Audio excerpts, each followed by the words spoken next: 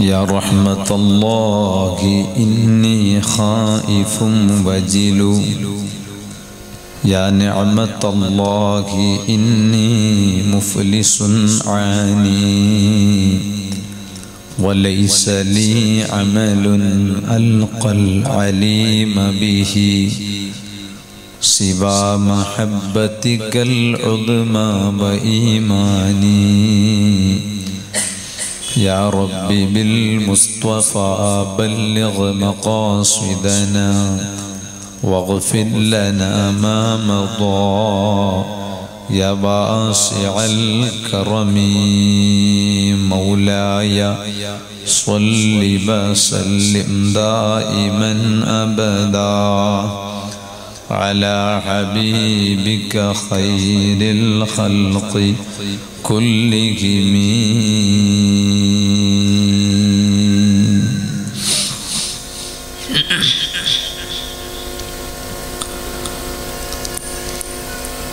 സർവാദരണീയരായ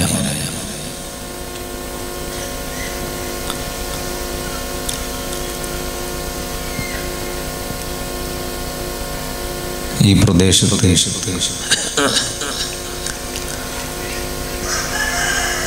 സുദീർഘകാലം തന്റെ ഒരു പുരുഷായുസ് മുഴുവൻ ഇവിടെയുള്ള ആത്മീയ പ്രവർത്തനങ്ങൾക്ക് നേതൃത്വം നൽകാൻ വേണ്ടി ചെലവഴിച്ച അതിന് അള്ളാഹുവിൽ നിന്ന് വലിയ ഹല്ല് ലഭിച്ച കുട്ടിക്കാലം മുതൽക്ക് തന്നെ ഞങ്ങൾ കണ്ട് കൈ ചുംബിച്ച് ബഹുമാനിച്ച് ദ്വാ ചെയ്യിപ്പിക്കുകയും മന്ത്രിപ്പിക്കുകയും ഒക്കെ ചെയ്യാറുള്ള വന്യരായ മഞ്ചി ഉസ്താദ്. മറ്റു മറ്റു ഉസ്താദുമാർ.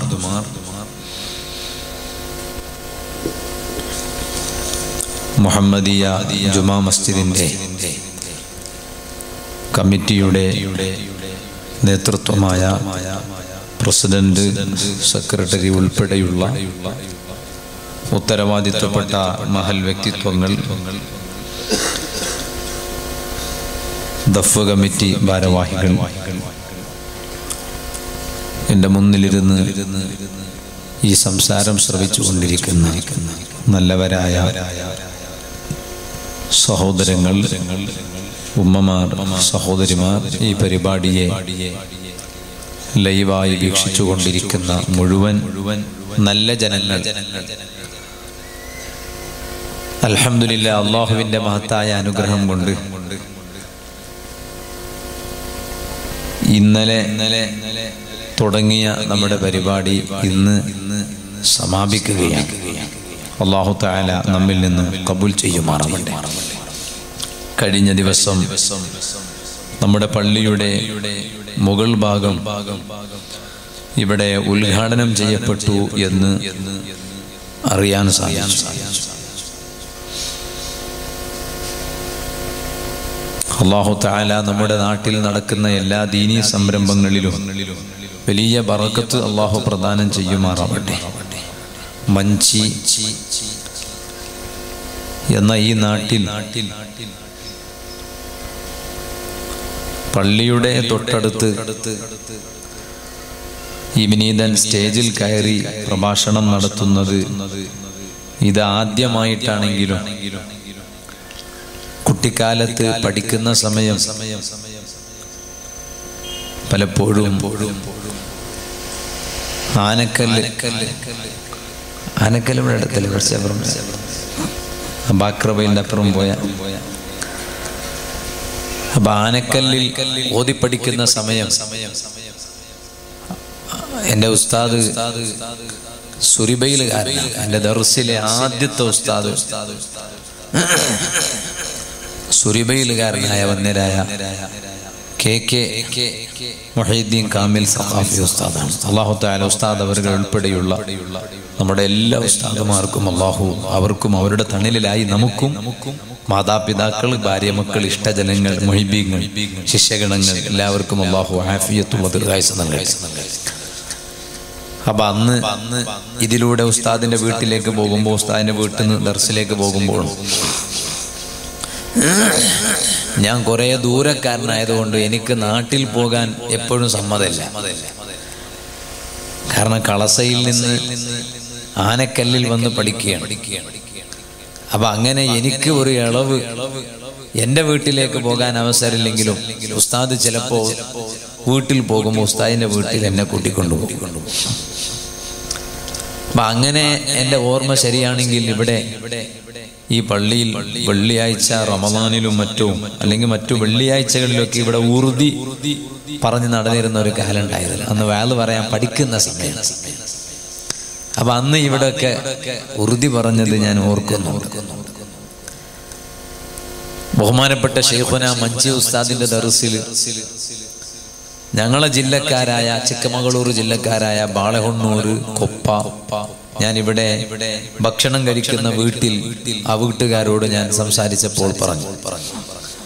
നോക്കുമ്പോൾ അവിടെയാണ് ആ ഭാഗത്തുള്ള ഒരു ഉസ്താദ് അന്ന് ഇവിടെ പഠിക്കുന്ന സമയത്ത് ഭക്ഷണം കഴിച്ചിരുന്നത് ആ വീട്ടിൽ.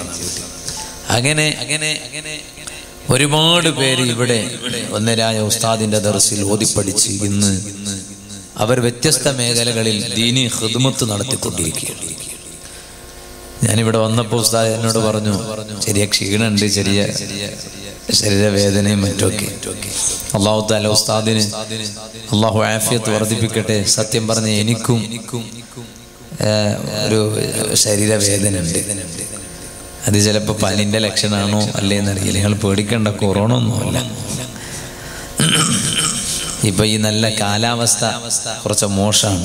മഞ്ഞൊക്കെ ഉള്ളതാണ്. അപ്പൊ നമ്മൾ കഴിക്കുന്നതും കുടിക്കുന്നതും കുറച്ച് അപ്പുറപ്പുറമൊക്കെ ആകുമ്പോൾ കുറച്ച് അങ്ങനെ ആകും ദിവസവും പരിപാടിയും ഉറക്കില്ലായ്മയും ഒക്കെ ഉണ്ടാക്കുമ്പോൾ സ്വാഭാവിക. അള്ളാഹു നമുക്കൊക്കെ ഹാഫിയത്ത് വർദ്ധിപ്പിച്ച് തരട്ടെ. അപ്പൊ ആദ്യം തന്നെ ഉസ്താദിന്റെ സംസാരം കഴിഞ്ഞ ഉടനെ ഉസ്താദിനോട് ഞാൻ ചോദിച്ചു ഉസ്താദ് പോവാണോ? കാരണം ഉസ്താദ് പോവാണെങ്കിൽ പോകട്ടെ ചിലപ്പോൾ നമ്മളെ സമാധാനിപ്പിക്കാൻ വേണ്ടി ഉസ്താദ് ഇവിടെ കുറേ നേരം ഇരുന്ന് ചിലപ്പോൾ ഞങ്ങളെ ദേഹത്ത് ചിലപ്പോൾ പ്രതിരോധിക്കാനുള്ള ഹ്യൂമിനിറ്റി പവർ ഉണ്ടാകും. ഉസ്താദിന്റെ അത്ര പ്രായമൊന്നും ഞങ്ങൾ അദ്ദേഹത്തില്ല പ്രായം പ്രായം ഞങ്ങൾക്കില്ലാത്തത് പക്ഷെ ഞങ്ങളെക്കാൾ എത്രയോ പ്രായമാണ് ഒന്നേരായ ഉസ്താദ്. പ്രായം കൂടും തോറും പ്രതിരോധ ശേഷി കുറഞ്ഞുകൊണ്ടിരിക്കുകയാണ്. അപ്പൊ അതുകൊണ്ട് ഞാൻ ആദ്യം തന്നെ ഉസ്താദ് സംസാരം നിർത്തിയപ്പോൾ തന്നെ ഞാൻ ചോദിച്ചു ഉസ്താദിനോട് ഉസ്താദ് പോവാണോ? കാരണം പോവാണെങ്കിൽ പോകാം. എന്ന് ആ സന്തോഷം അറിയിക്കാനാണ്. അല്ല ഉസ്താദ് പോയത് കൊണ്ട് എനിക്ക് വിഷമമോ സങ്കടമോ അങ്ങനൊന്നുമില്ല. അലഹമില്ല ഇവിടെ വന്നപ്പോ പറഞ്ഞു ഇത് നാൽപ്പത്തി ഒമ്പതാം വാർഷികമാണ്. നോട്ടീസിൽ ദഫ് കമ്മിറ്റിയുടെ നാൽപ്പത്തി ഒമ്പതാം വാർഷികം. അപ്പൊ അടുത്ത വർഷം ഇതിന്റെ അമ്പതാം വാർഷികമാണ്. അത് അതിവിപുലമായ രീതിയിൽ ഇൻഷാല്ല നടത്താൻ അള്ളാഹു തോഫീക്ക് കേട്ടെ. അപ്പോ ദഫ് കമ്മിറ്റിയുടെ വാർഷികവും ഉസ്താദ് മഞ്ചിയിൽ വന്നതിന്റെ വാർഷികവും ഒരുപോലെയാണെന്നാണ് പറഞ്ഞത്. എനിക്കറിയില്ല എന്നോട് ഇവിടെ വന്നപ്പോൾ പറഞ്ഞു. അപ്പൊ ഞാനിങ്ങനെ അത്ഭുതപ്പെട്ടു പോയി. സുബാന ജല്ല ജലാലു നീണ്ട നാൽപ്പത്തി നാൽപ്പത്തി ഒമ്പത് വർഷക്കാലം ഒറ്റ മഹല്ലിൽ. അതും സ്വന്തം നാട്ടിൽ തൊട്ടടുത്ത്. അഹമ്മദില്ല നേതൃത്വം നൽകാൻ അള്ളാഹു നൽകുന്ന വലിയ തൗഫീഖ്. അള്ളാഹു ആ തണൽ എക്കാലത്തും അള്ളാഹു നിലനിർത്തി തരുമാറാവട്ടെ. ആമീൻ. യാ റബ്ബൽ ആലമീൻ. നാം നാം ഒരുങ്ങേണ്ടുന്ന സമയം അതിക്രമിച്ചിരിക്കുകയാണ്. നന്നാകണം എന്ന് ചിന്തിക്കാത്ത ആരും ഇല്ല. നേരത്തെ ഉസ്താദ് ഇന്നത്തെ സദസ്സുകളുടെയും മറ്റുമൊക്കെ വിവരങ്ങൾ ഇവിടെ പറഞ്ഞു. നന്നാകണം എന്ന് ചിന്തിക്കാത്തവർ വളരെ കുറവാണ്. നന്നാകണം എന്ന് ചിന്തിക്കുന്നവരാണ് നമ്മിൽ അധികവും. പക്ഷെ ചിലപ്പോ സാഹചര്യങ്ങളും മറ്റും കാരണം ചിലപ്പോ നന്നാകാൻ ഒരു ഒരു പ്രയാസം ഉണ്ടാകും എന്നേ പക്ഷേ ഒരു മനുഷ്യൻ നന്നാകണം എന്ന് കരുതിയാൽ നന്നാകാൻ പറ്റിയ അല്ലെങ്കിൽ അതിനു വേണ്ടി ഒരുങ്ങേണ്ടുന്ന ഏറ്റവും പ്രധാനപ്പെട്ട ഒരു സമയത്താണ് നാം ഉള്ളത്. അള്ളാഹു നമുക്ക് ആ ബോധം നൽകി അനുഗ്രഹിക്കുമാറാവട്ടെ.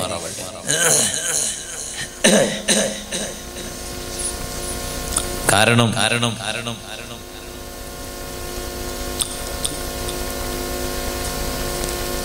നമ്മൾ റജബ് മാസത്തിലാണ് ഉള്ളത്. പരിശുദ്ധ ഖുർആാനിൽ അള്ളാഹു താല പറഞ്ഞില്ലേ? ഏറ്റവും മഹത്വമുള്ള നാല് മാസം ഇന്ന ഇദ്ദത്ത الشهور عند الله اثنا عشر شهرا في كتاب الله يوم خلق السماوات والأرض منها أربعة حرم ذلك الدين القيم فلا تظلموا فيهن أنفسكم പരിശുദ്ധ ഖുർആനിൽ അള്ളാഹു താല പറയുകയാണ് അള്ളാഹുവിന്റെ അരികിലുള്ള മാസങ്ങളുടെ കണക്ക് പന്ത്രണ്ട് മാസങ്ങളാണ് ആ പന്ത്രണ്ട് മാസങ്ങളിൽ മിൻഹാ അർബഅത്തുൻ ഹുറും ഏറ്റവും പ്രധാനപ്പെട്ട മഹത്വമേറിയ നാല് മാസങ്ങളുണ്ട്. ആ നാല് മാസങ്ങളുണ്ട് എന്ന് പറഞ്ഞതിന് ശേഷം അള്ളാഹു പറഞ്ഞു ഫല തളിരിമു ഫീഹിന്ന അൻഫുസക്കും. നിങ്ങൾ മറ്റു ഒരു സമയങ്ങളിലും നിങ്ങളുടെ സ്വന്തം ശരീരത്തോട് നിങ്ങൾ അക്രമം കാണിക്കരുത്. അഥവാ നിങ്ങൾ തെറ്റ് ചെയ്ത് ജീവിക്കരുത്. എങ്കിലും ഈ നാല് ബഹുമാനമുള്ള മാസങ്ങളിൽ പ്രത്യേകിച്ച് നിങ്ങൾ തെറ്റ് ചെയ്യാൻ പാടില്ല എന്ന് ഖുർആാനിൽ അള്ളാഹു പറഞ്ഞു. ഏതാണ് ഈ നാല് മാസം? അതിൽ മൂന്ന് മാസങ്ങൾ തുടരെയായ മാസങ്ങളാണ്. മുഹറം. അവിടെ ഗ്യാപ്പില്ല. മൂന്ന് മാസം തുടരെയുള്ള മാസം പിന്നെ ഒരു മാസം ഒരു ഗ്യാപ്പോട് കൂടെയുള്ള മാസമാണ്. അതാണ് റജബ്. റജബ്. ആ റജബ് മാസത്തിലാണ് നാം ഉള്ളത്. റജബ് കഴിഞ്ഞാൽ ഷാബാനാണ്.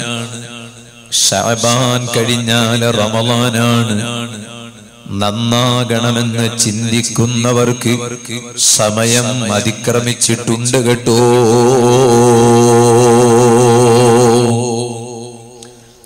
ഓ എന്റെ വാത കേൾക്കുന്ന ഉമ്മമാരെ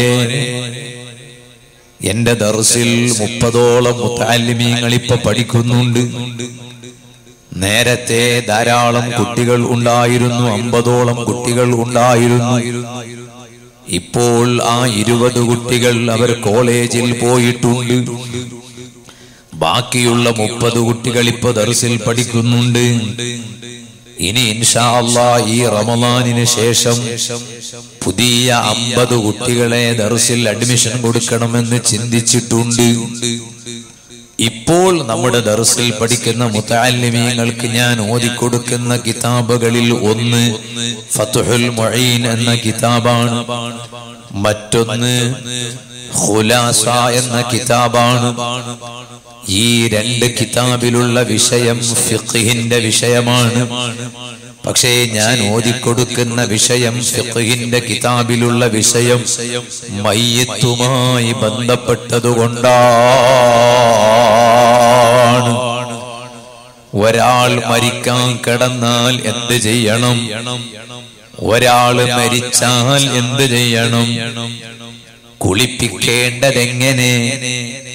കുളി കഴിഞ്ഞാൽ കഫൻ വസ്ത്രം കൊണ്ട് പൊതിയേണ്ടതെങ്ങനെ? കഫൻ കഴിഞ്ഞാൽ നിസ്കാരം നടത്തേണ്ടതെങ്ങനെ?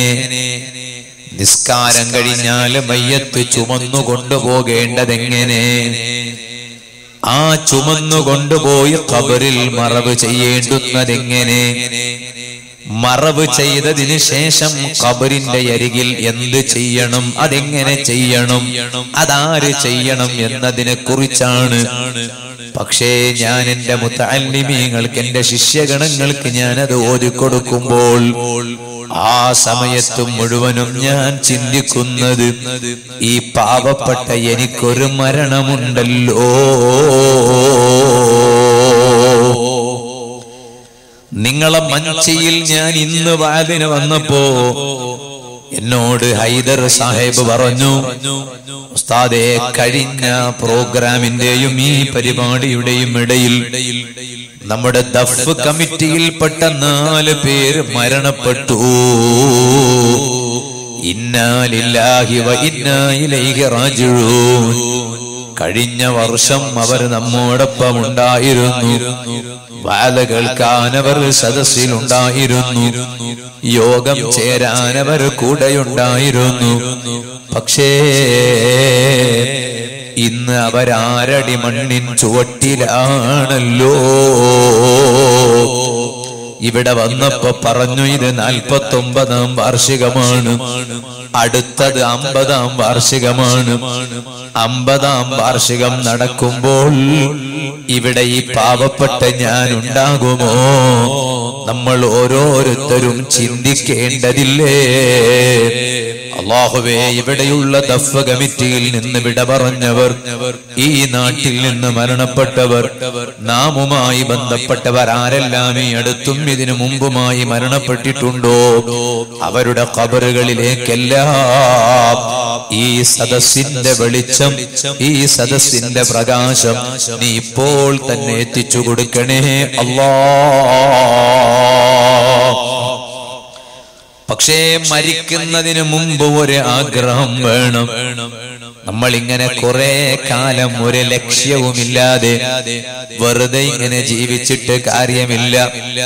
ഞാൻ മരിക്കണമെങ്കിൽ മരിക്കുന്നതിന് മുമ്പായി ഒരു നല്ല സ്വാലിഹായ അമൽ ചെയ്യണം. നല്ല ഒരു സൽക്കർമ്മം ചെയ്യണം. ഒരു സ്വാലിഹായ അമൽ ചെയ്യണം. അള്ളാഹുവേ നമുക്ക് നീ അതിന് തൗഫീഖ് നൽകണേ. അല്ലാ. മഹാന്മാരെപ്പോഴും അള്ളാഹുവിനോട് ദ്വയ ചെയ്തിരുന്ന ഒരു ദ്വാണ്ട് ഞങ്ങളെ ജീവിതത്തിൽ എന്തെങ്കിലും ഞങ്ങളത് വേർന്നിട്ടുണ്ടോ? എന്താണ് മഹാന്മാരൊക്കെ എപ്പോഴും അള്ളാഹിനോട് ദ്വാരക്കാരുണ്ടായിരുന്നെന്നറിയോ ചരിത്രത്തിലൊക്കെ കാണാം കിതാബുകളിലൊക്കെ കാണാം. മഹാന്മാരെപ്പോഴും അള്ളാഹുവിനോട് ദ്വയ ചെയ്യാറുണ്ടായത് അള്ളാഹുവേ മരിക്കുന്നതിന് ഒരു ഒരു ഒരു നല്ല കാര്യം ചെയ്ത ഉടനെ നീ ഞങ്ങളെ മരിപ്പിക്കണേ അള്ളാഹ് അള്ളാഹു ഞങ്ങളെ അങ്ങനെ മരിപ്പിക്കി തെറ്റ് ഒറ്റൊന്നും പറഞ്ഞു പേടി പേടി. സദസ്സെന്ന് മരിച്ചു പോവാന്ന് മരിച്ചാലെന്തേ ഒരു നല്ല സദസ്സിൽ വെച്ചിട്ടല്ലേ മരിക്കണം.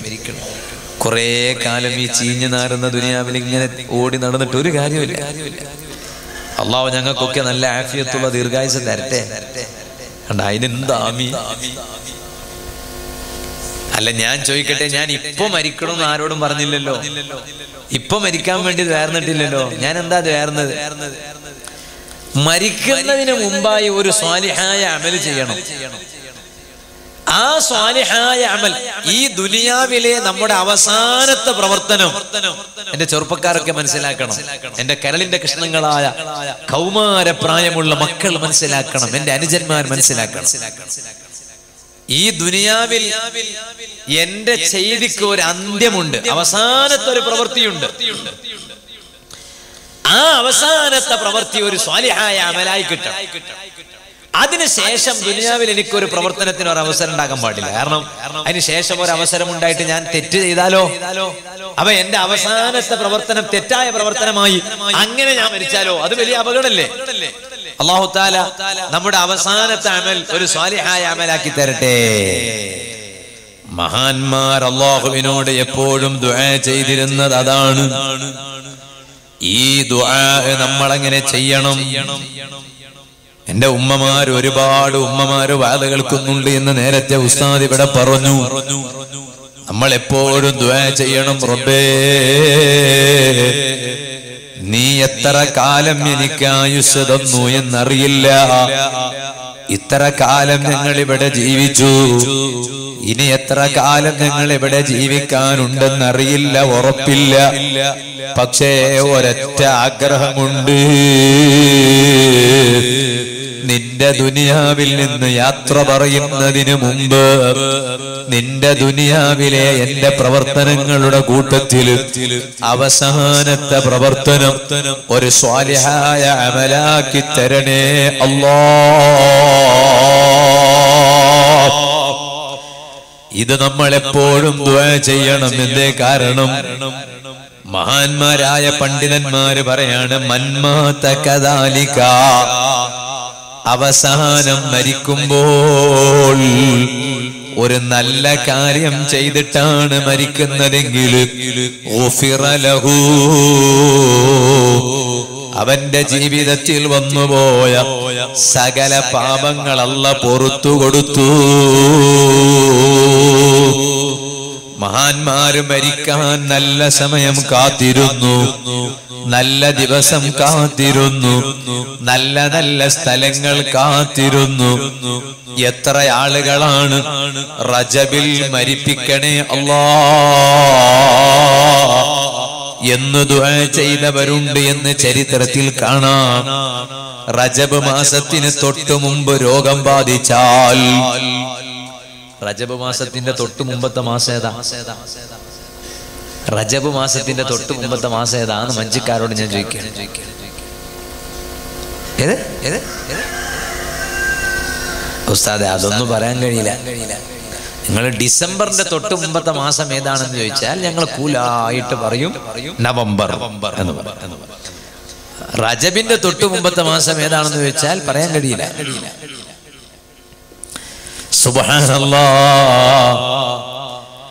റജബ് മാസം കടന്ന് കടക്കുന്നതിന് മുമ്പ് രോഗം ബാധിച്ചു. പണ്ഡിതന്മാര് പറയാണ് അങ്ങനെ രോഗം ബാധിച്ചവർ അവർ അള്ളാഹുവിനോട് ദുആ ചെയ്യാൻ തുടങ്ങി. റബ്ബേ. അതേ എന്റെ മരണം റജബ് മാസത്തിൽ നീ ആക്കി തരണേ അല്ലാ റജബിന്റെ മുമ്പ് രോഗം ബാധിച്ചാൽ മഹാന്മാർ അള്ളാഹുവിനോട് ദുആ ചെയ്തിരുന്നത് അങ്ങനെയാണ്. എന്റെ മരണം റജബ് മാസത്തിലാക്കി തരണേ അല്ലാ എന്തേ കാരണം? റജബ് മാസത്തിൽ മരണപ്പെട്ടാൽ അള്ളാഹു താല ആ മാസത്തിൽ ഒരുപാട് പേരെ നരകത്തിൽ നിന്ന് മോചിപ്പിക്കുന്നു. അപ്പൊ ഈ പാവപ്പെട്ട ഞാൻ അല്ല നരകത്തിൽ നിന്ന് മോചിപ്പിക്കുന്ന വിഭാഗത്തിൽ ഞാനൊന്ന് പെട്ടാലോ? അതിനേക്കാളും വലിയ ഭാഗ്യം വേറെ ഇല്ലല്ലോ. സുഹൃത്തുക്കളെ ഇനിയുള്ള കാലം നന്നാകാൻ വേണ്ടി ചിന്തിക്കണം. ഇനിയുള്ള കാലം നന്നാകാൻ വേണ്ടി ആലോചിക്കണം. അതിന് നന്നാകണമെങ്കിൽ ഒന്നാമതായി എന്ത് വേണം? നമ്മൾ ഇബാദത്തെടുക്കാൻ പോകുന്നതിന് മുമ്പായി ഒന്നാമതായി നമ്മൾ ചെയ്യേണ്ടുന്നത് നമ്മൾ നമ്മളെ ഒന്ന് ശുദ്ധിയാക്കിയെടുക്കണം. പണ്ഡിതന്മാര് പറഞ്ഞു ദുന്നൂനിൽ മിസുരി റതിയല്ലോവൻ വലിയ മഹാനാണ്. ആ മഹാൻ പറഞ്ഞു ഓ മനുഷ്യ റജബുലി തർക്കിൽ അഫാത്ത്. റജബ് മാസം എന്നത് ആഫത്തുകൾ ഉപേക്ഷിക്കാനുള്ള മാസമാണ്. ജീവിതത്തിൽ നീ ഇന്നേ വരെ ചെയ്തു പോന്ന തെറ്റുകളുണ്ടോ? ആ തെറ്റുകൾ നിർത്തൽ ചെയ്യേണ്ടുന്ന മാസമാണ് റജബ്. അല്ലാതെ റമദാനിൽ മാത്രം നീ ഇബാദത്തെടുത്തത് കൊണ്ട് നന്നാകൂല. ചെറുപ്പക്കാരാ അന്യ പെണ്ണിനോട് നിനക്ക് അവിഹിത ബന്ധമുണ്ടോ? വാത് കേൾക്കുന്ന പെങ്ങളെ അന്യ ചെറുപ്പക്കാരനോട് അവിഹിത ബന്ധമുണ്ടോ? ഓ കരളിന്റെ കഷ്ണങ്ങളായ യുവാക്കളെ ആരും അറിയാതെ നീ ഒരു തെറ്റ് ചെയ്യുന്നുണ്ടോ? നിന്റെ കൈവെള്ളയിലുള്ള മൊബൈൽ ഫോണിലൂടെ അതാ അർദ്ധരാത്രി വരെ നിന്റെ ബാപ്പ കാണാതെ നിന്റെ ഉമ്മ കാണാതെ. നീ അതിൽ ഹറാമ് കണ്ട് രസിക്കുന്നുണ്ടോ? ആ ഹറാമ് കണ്ട് കിടന്നുറങ്ങുന്നുണ്ടോ? അത് നിർത്താനുള്ള സമയമാണ് മോനെ.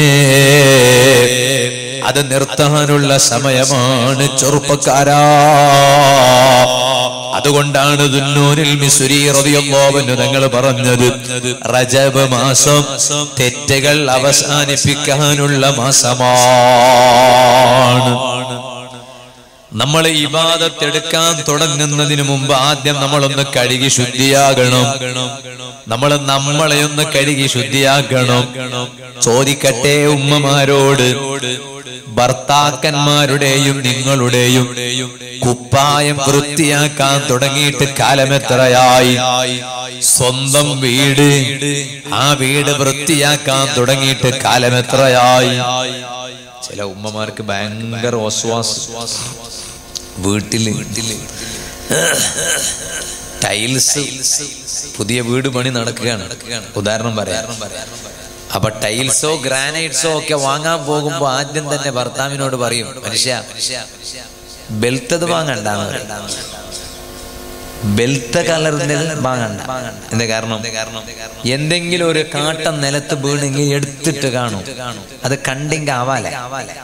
മർക്ക സങ്കട്ടാവും അപ്പൊ അതുകൊണ്ടിട്ടു ബെൽത്ത ടൈൽസ് ആ ബെൽത്ത ഗ്രാനൈറ്റ് എടുക്കണ്ടാന്ന്. കാരണം അതിലൊരു ചെറിയ മുടി വീണാൽ പോലും ആ മുടി എടുത്തു എന്താ കാരണം കാരണം? ഒരു ചെറിയ കാട്ടം അത് നിലത്ത് വീണാൽ അത് കണ്ടാൽ സഹിക്കാൻ പറ്റൂല ചില ഉമ്മമാർക്ക്. അത് നല്ല സ്വഭാവമാണ്. പക്ഷേ ടൈൽസിൽ ഒരു കറുപ്പ് അടയാളം കാണുന്നതിലേറെ ഓ ഉമ്മമാരെ നിങ്ങളെ വീട്ടിന്റെ ഗ്രാനൈറ്റിൽ ഒരു അതേ എന്തെങ്കിലും പൊടികൾ കാണുന്നതിന്റെ അപകടത്തിലേറെ ഏറ്റവും വലിയ അപകടം കൽബിൽ ഒരു കറുത്ത പുള്ളി വീണാൽ അതിനേക്കാളും വലിയ അപകടം വേറെയില്ലല്ലോ. പണ്ഡിതന്മാരെന്താ പറഞ്ഞത്? ഒരു മനുഷ്യൻ ഓരോ തെറ്റ് ചെയ്യുമ്പോൾ തെറ്റിന്റെ എണ്ണമനുസരിച്ച് തെളിഞ്ഞിട്ടുള്ള കൽബ് മോമിന്റെ കൽബ് നല്ല തെളിച്ചമുള്ള കൽബാണല്ലോ. ആ കൽബിൽ കറുത്ത പാടുകൾ വീണുപോയി. തെറ്റുകൾ ഇങ്ങനെ വർദ്ധിക്കുമ്പോൾ കൽബ് നിറയെ കറുത്തിരുണ്ടുപോയി. നമ്മൾ ഇബാദത്ത് ചെയ്യുന്നതിനു മുമ്പ് നമ്മുടെ കറുത്തിരുണ്ടുപോയ കൽബിനെ ഒന്ന് ശുദ്ധീകരിക്കണ്ടേ ഒന്ന് വൃത്തിയാക്കണ്ടേ ഒന്ന് കഴുകിയെടുക്കണ്ടേ. കല്യാണ വീട്ടിൽ പോകുമ്പോ കല്യാണ വീട്ടിൽ പോകുമ്പോ ആ കല്യാണ വീട്ടിൽ പോകുന്ന സമയത്ത് ധരിക്കാനുള്ളൊരു കുപ്പായം ആ കുപ്പായം അതേ കഴുകുന്നു വൃത്തിയാക്കുന്നു. ടെക്സ്റ്റൈൽസിൽ നിന്ന് പുതിയ കുപ്പായം വാങ്ങിയാലും ആ കുപ്പായം കഴുകുന്നു വൃത്തിയാക്കുന്നു എന്നിട്ട് ധരിക്കുന്നു. എന്തേ കാരണം? അതേ കുപ്പായത്തിൽ അഴുക്ക് വല്ലതുമുണ്ടോ? പൊടികൾ വല്ലതുമുണ്ടോ? ഓ മനുഷ്യ ഇത് ചിന്തിക്കുന്ന ഞാനും നീയും നമ്മുടെ കൽബ് അഴുക്കുകളെ കൊണ്ട് നിറഞ്ഞുപോയത് ചിന്തിക്കാത്തതെന്തേ? അത് ചിന്തിക്കാനുള്ള സമയമാണല്ലോ. ഈ പരിശുദ്ധമാക്കപ്പെട്ട റജബ് മാസം. അതിനല്ലേ അള്ളാഹു താല നമുക്ക് ഈ മാസം തന്നിട്ടുള്ളത്. ഈ റജബിൽ നമ്മൾ അതാണ് ചിന്തിക്കേണ്ടത്. ജീവിതത്തിൽ ഇന്ന് വരെ വന്നുപോയ പാപങ്ങൾ പൊറുക്കണമെങ്കിൽ എന്ത് ചെയ്യണം? അതുകൊണ്ട് ഓരോ മാസത്തിൽ ഓരോന്നും ചെയ്യണം. റജബിൽ എന്താണ് കൂടുതലും ചെയ്യേണ്ടത്? പണ്ഡിതന്മാര് പറഞ്ഞു അൽ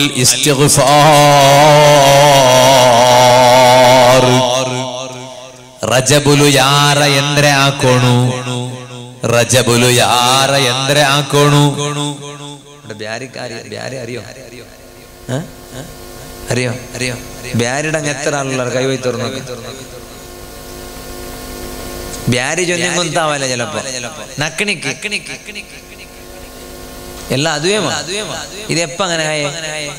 പണ്ട് ഇന്നിട്ടില്ല പണ്ട് ഇതിലൂടെ പോകുമ്പോ എന്തിന്റെ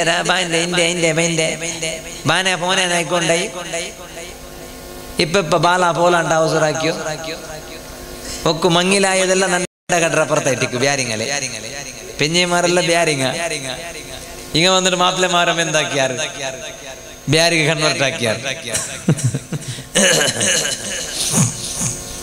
ആണ്? ഇപ്പൊ നമ്മൾ ബാരിങ്ങനെ ഇറങ്ങി അവിടെ?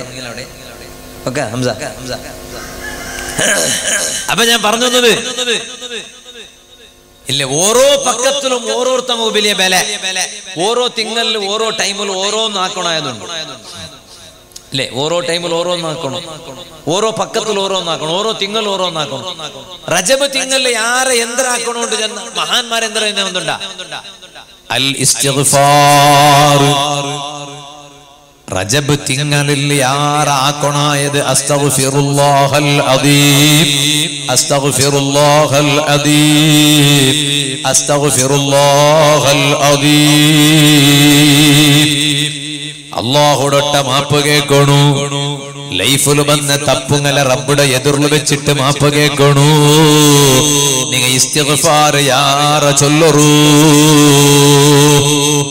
ഓരോ തിങ്ങൽ ഓരോന്നൊക്കെ വലിയ മഹത്വം ഉണ്ട് ഓരോ ടൈമിൽ ഓരോന്നൊക്കെ വലിയ മഹത്വം ഉണ്ട് ഓരോ പക്കത്തിൽ ഓരോന്നൊക്കെ വലിയ മഹത്വം ഉണ്ട് മാപ്പിളയുടെ മഹത്വം ഒന്ന് വേറെ പിന്നയുടെ മഹത്വം ഒന്ന് വേറെ അബ്ബടെ മഹത്വം ഒന്ന് വേറെ ഉമ്മടെ മഹത്വം ഒന്ന് വേറെ അബ്ബ ഉമ്മടെ മഹത്വമാ.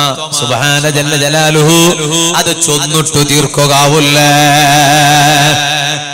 ഓരോ പക്കത്തിൽ ഓരോരുത്തങ്ങ വലിയ ഡിമാൻഡ് ഇറങ്ങാം. അബ്ബ ഉമ്മമാരെ വിഷയം പറയുമ്പോ അബ്ബ ഉമ്മമാർക്ക് വലിയ ഡിമാൻഡ് ഉണ്ട്. എല്ലാ ടൈമിലും അബ്ബമ്മമാർക്ക് അങ്ങനെ ഉണ്ട് ബാക്കി ഇന്ന് ബാക്കി നമുക്ക് ഡിമാൻഡ് ഉള്ള പക്കത്തിൽ അബ്ബമ്മമാർക്ക് ഡിമാൻഡ് ഇല്ലാണ്ടല്ല. അത് ബാക്കി ഇന്നും അവിടെ മഹത്വം. അബ്ബമ്മയുടെ വിഷയം പറയുമ്പോ അബ്ബമ്മക്ക് മഹത്വം എപ്പോഴും. ഇതുപോലെ ഓരോന്നുണ്ട്. ഒരാൾ മരിക്കോ കിടന്നിട്ട് മഞ്ചിലുണ്ട് വിചാരിക്കാം മഞ്ചിലല്ലേ വാസ് ഒന്നുണ്ടല്ലേ അപ്പൊ അതുകൊണ്ട് മഞ്ചിൽ വിഷയം എടുക്കാം. മഞ്ചിൽ ഒരാൾ മരിക്കോ കിടന്നൊരു. മരിക്കോ കിടന്നിട്ടുള്ള ടൈമിലോ? അപ്പൊ അയാൾ കൊന്നു. ചെന്നു കൊടുക്കണ്ടേ? എന്തിനാ ഒന്നു കൊടുക്കണേ? ഒരാൾ മരിക്കോ കിടന്നിട്ടുണ്ട് വിചാരിക്കും ഇവിടെ. നിങ്ങളെ മഞ്ച് മഹലിൽ ഇവിടെ നൂറ്റി ചില്ലർ അകമുണ്ട് ഈ ഔത്തര കൂട്ടത്തിൽ ഒരു ഔത്തലും ഒരാൾ മരിക്കോ കിടന്നിട്ട് വിചാരിക്കാം അയാളെ മുട്ട തെച്ചിട്ട് നിന്ന് കൊടുക്കണം? എല്ലാ റെക്കോർഡ്സ് എല്ലാം ಕಣಕ್ಕೆಲ್ಲ ಬೇಗ ಬೇಗ ക്ലിയർ ಆಕಡೆ എന്ത് എത്ര എല്ലാം ഉണ്ട് നിന്റെ പേരിൽ? ഇവിടെ എവിടെയുള്ള പക്കമുണ്ട്? വേഗ വേഗ വേഗ വേഗ.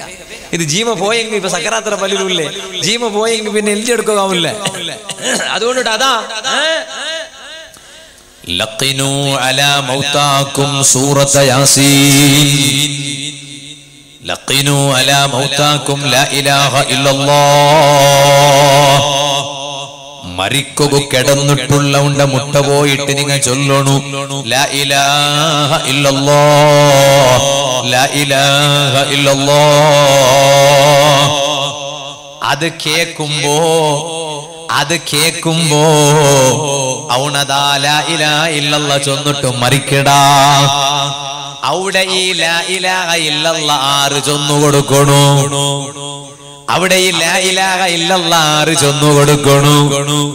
ഓ ഇസ്ലാം പഠിപ്പാട്ടാത്ത ഒരു നിയമോ ഇല്ല. ഇസ്ലാം അത്ര നല്ല ആദർശമുള്ള ഒരു തീന് ഏതുണ്ടു? ഉമ്മ നിങ്ങളൊട്ട ഹിജാബിടകുവേനായിട്ട് ഇസ്ലാമു ചൊന്തു. നിങ്ങളെ തലമുച്ചകു ഇസ്ലാമു ചൊന്തു. നിങ്ങളെ മുഖമുച്ചകു ഇസ്ലാമു ചൊന്തു. നിങ്ങ അന്യ ആണിങ്ങളെ എതിർകു പറമ്പോ ഇടീ നിങ്ങളെ തടി മുച്ചിട്ടേ നിങ്ങ പറണു. നിങ്ങളെ ഉഗുറു പർത്ത് കാണുക തീറ നിങ്ങളെ ഒരു ഒരു മുടി പോലും പർത്ത് കാണുക തീറ നിങ്ങളെ തടിയുടെ ഇടി നിങ്ങ മുച്ചിട്ട് പറണു. ഇസ്ലാമു ചൊന്തു. എന്തിക കാരണ? അത് പെണ്ണുക അള്ളാഹുടെ ദീന് കൊടുക്കണ ഒരു സുരക്ഷത്തെ. പെണ്ണുക അള്ളാഹുടെ ദീന് കൊടുക്കണ ഒരു സംരക്ഷണ. ഇസ്ലാം ചൊല്ല ഓരോന്നിലും വലിയ ന്യായമുണ്ടു? അപ്പൊ മരിക്കുക കിടന്നിട്ടുള്ള ഒരാൾ മരിക്കുക കിടന്നിട്ടുള്ള ഒരാൾ അയാളെ മുട്ടല്ല ഇലാഹ ഇല്ലല്ലാണ്ട് ചൊല്ലണു. അപ്പൊ ഇത് ചൊല്ലുമ്പോ അയാൾ കേട്ടിട്ടില്ല ഇലാഹ ഇല്ലല്ല ചൊന്നിട്ട് മരിക്കട്. പക്ഷെ ആറ് ചൊന്നു കൊടുക്കണു?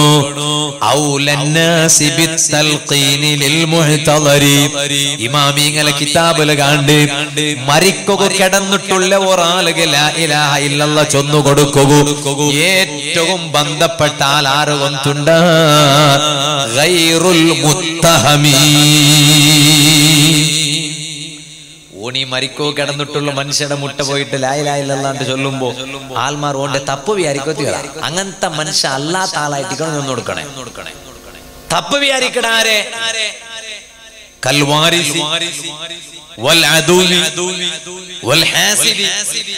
മൂന്ന് ബാപ്പട മുട്ട തിച്ചിട്ട് ലായിലായില്ല എന്ന് കൊടുത്തോണ്ടുള്ള അപ്പൊ തപ്പ് വിരിക്കില്ലേ വിരിക്കിടാറ് എന്ത് കാരണം ഓൺ കാത്തോണ്ടുള്ള കാണ്ട് അബ്ബട സ്വത്തെടുക്കുകയായിട്ട് അങ്ങനെ ഇയാൾ വേഗം ഒന്ന് മറിച്ച് കിട്ടിട്ട് ചെന്നിട്ട് ഓൻ വേഗം ലായലായല്ലോ ഇപ്പം ചെന്ന് കൊടുത്തോണ്ടുള്ളൂ അതിന് ലായലായല്ലോ ചെന്നിട്ട് കേട്ടിട്ട് പേടിച്ചിട്ടെങ്കിലും മറിക്കട്ടെ അങ്ങനെ മനുഷ്യന്മാർ തപ്പ് വിചാരിച്ചു പോവാറ് നീ അനന്തരാവകാശിയായി നീ പോയിട്ട് അബ്ബട മുട്ട തിച്ചിട്ട് മരിക്കോ കിടന്നിട്ടുള്ള ബാപ്പട മുട്ട ചെന്നിട്ട് ലായലായല്ലാണ്ട് ചെന്ന് കൊടുത്തെങ്കിൽ നിന്റെ മനുഷ്യന്മാർ തപ്പ് പേരിക്കാറ് നീ போயிடறான் പിന്നെ പിന്നെ ഓണും ഓണും പണ്ട് പകലിന്നങ്ങളുള്ള ഈ മരിക്കോ കിടന്നിട്ടുള്ള ആളും വേറെ ഒരാളും മഞ്ചിൽ വേറൊരാളുണ്ട്. ഉദാഹരണം മനസ്സിൽ വാളായതുകൊണ്ട് മഞ്ചിൽ ചെന്നുകൊണ്ടുള്ളൂ മാത്രം ഇങ്ങ ചെണ്ടാൽ ഭയങ്കര പകയുണ്ട്.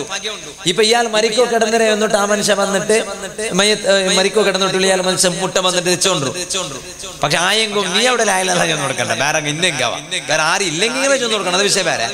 വേറെ. ആരും ഇല്ലെങ്കിൽ നീ അവിടെ ലായലല്ല ചെന്ന് കൊടുക്കണം കാരണം എന്താ ബാക്കി നിങ്ങൾ നിന്റെ മേലെ തപ്പ് വിയാറുണ്ട് എന്തേ?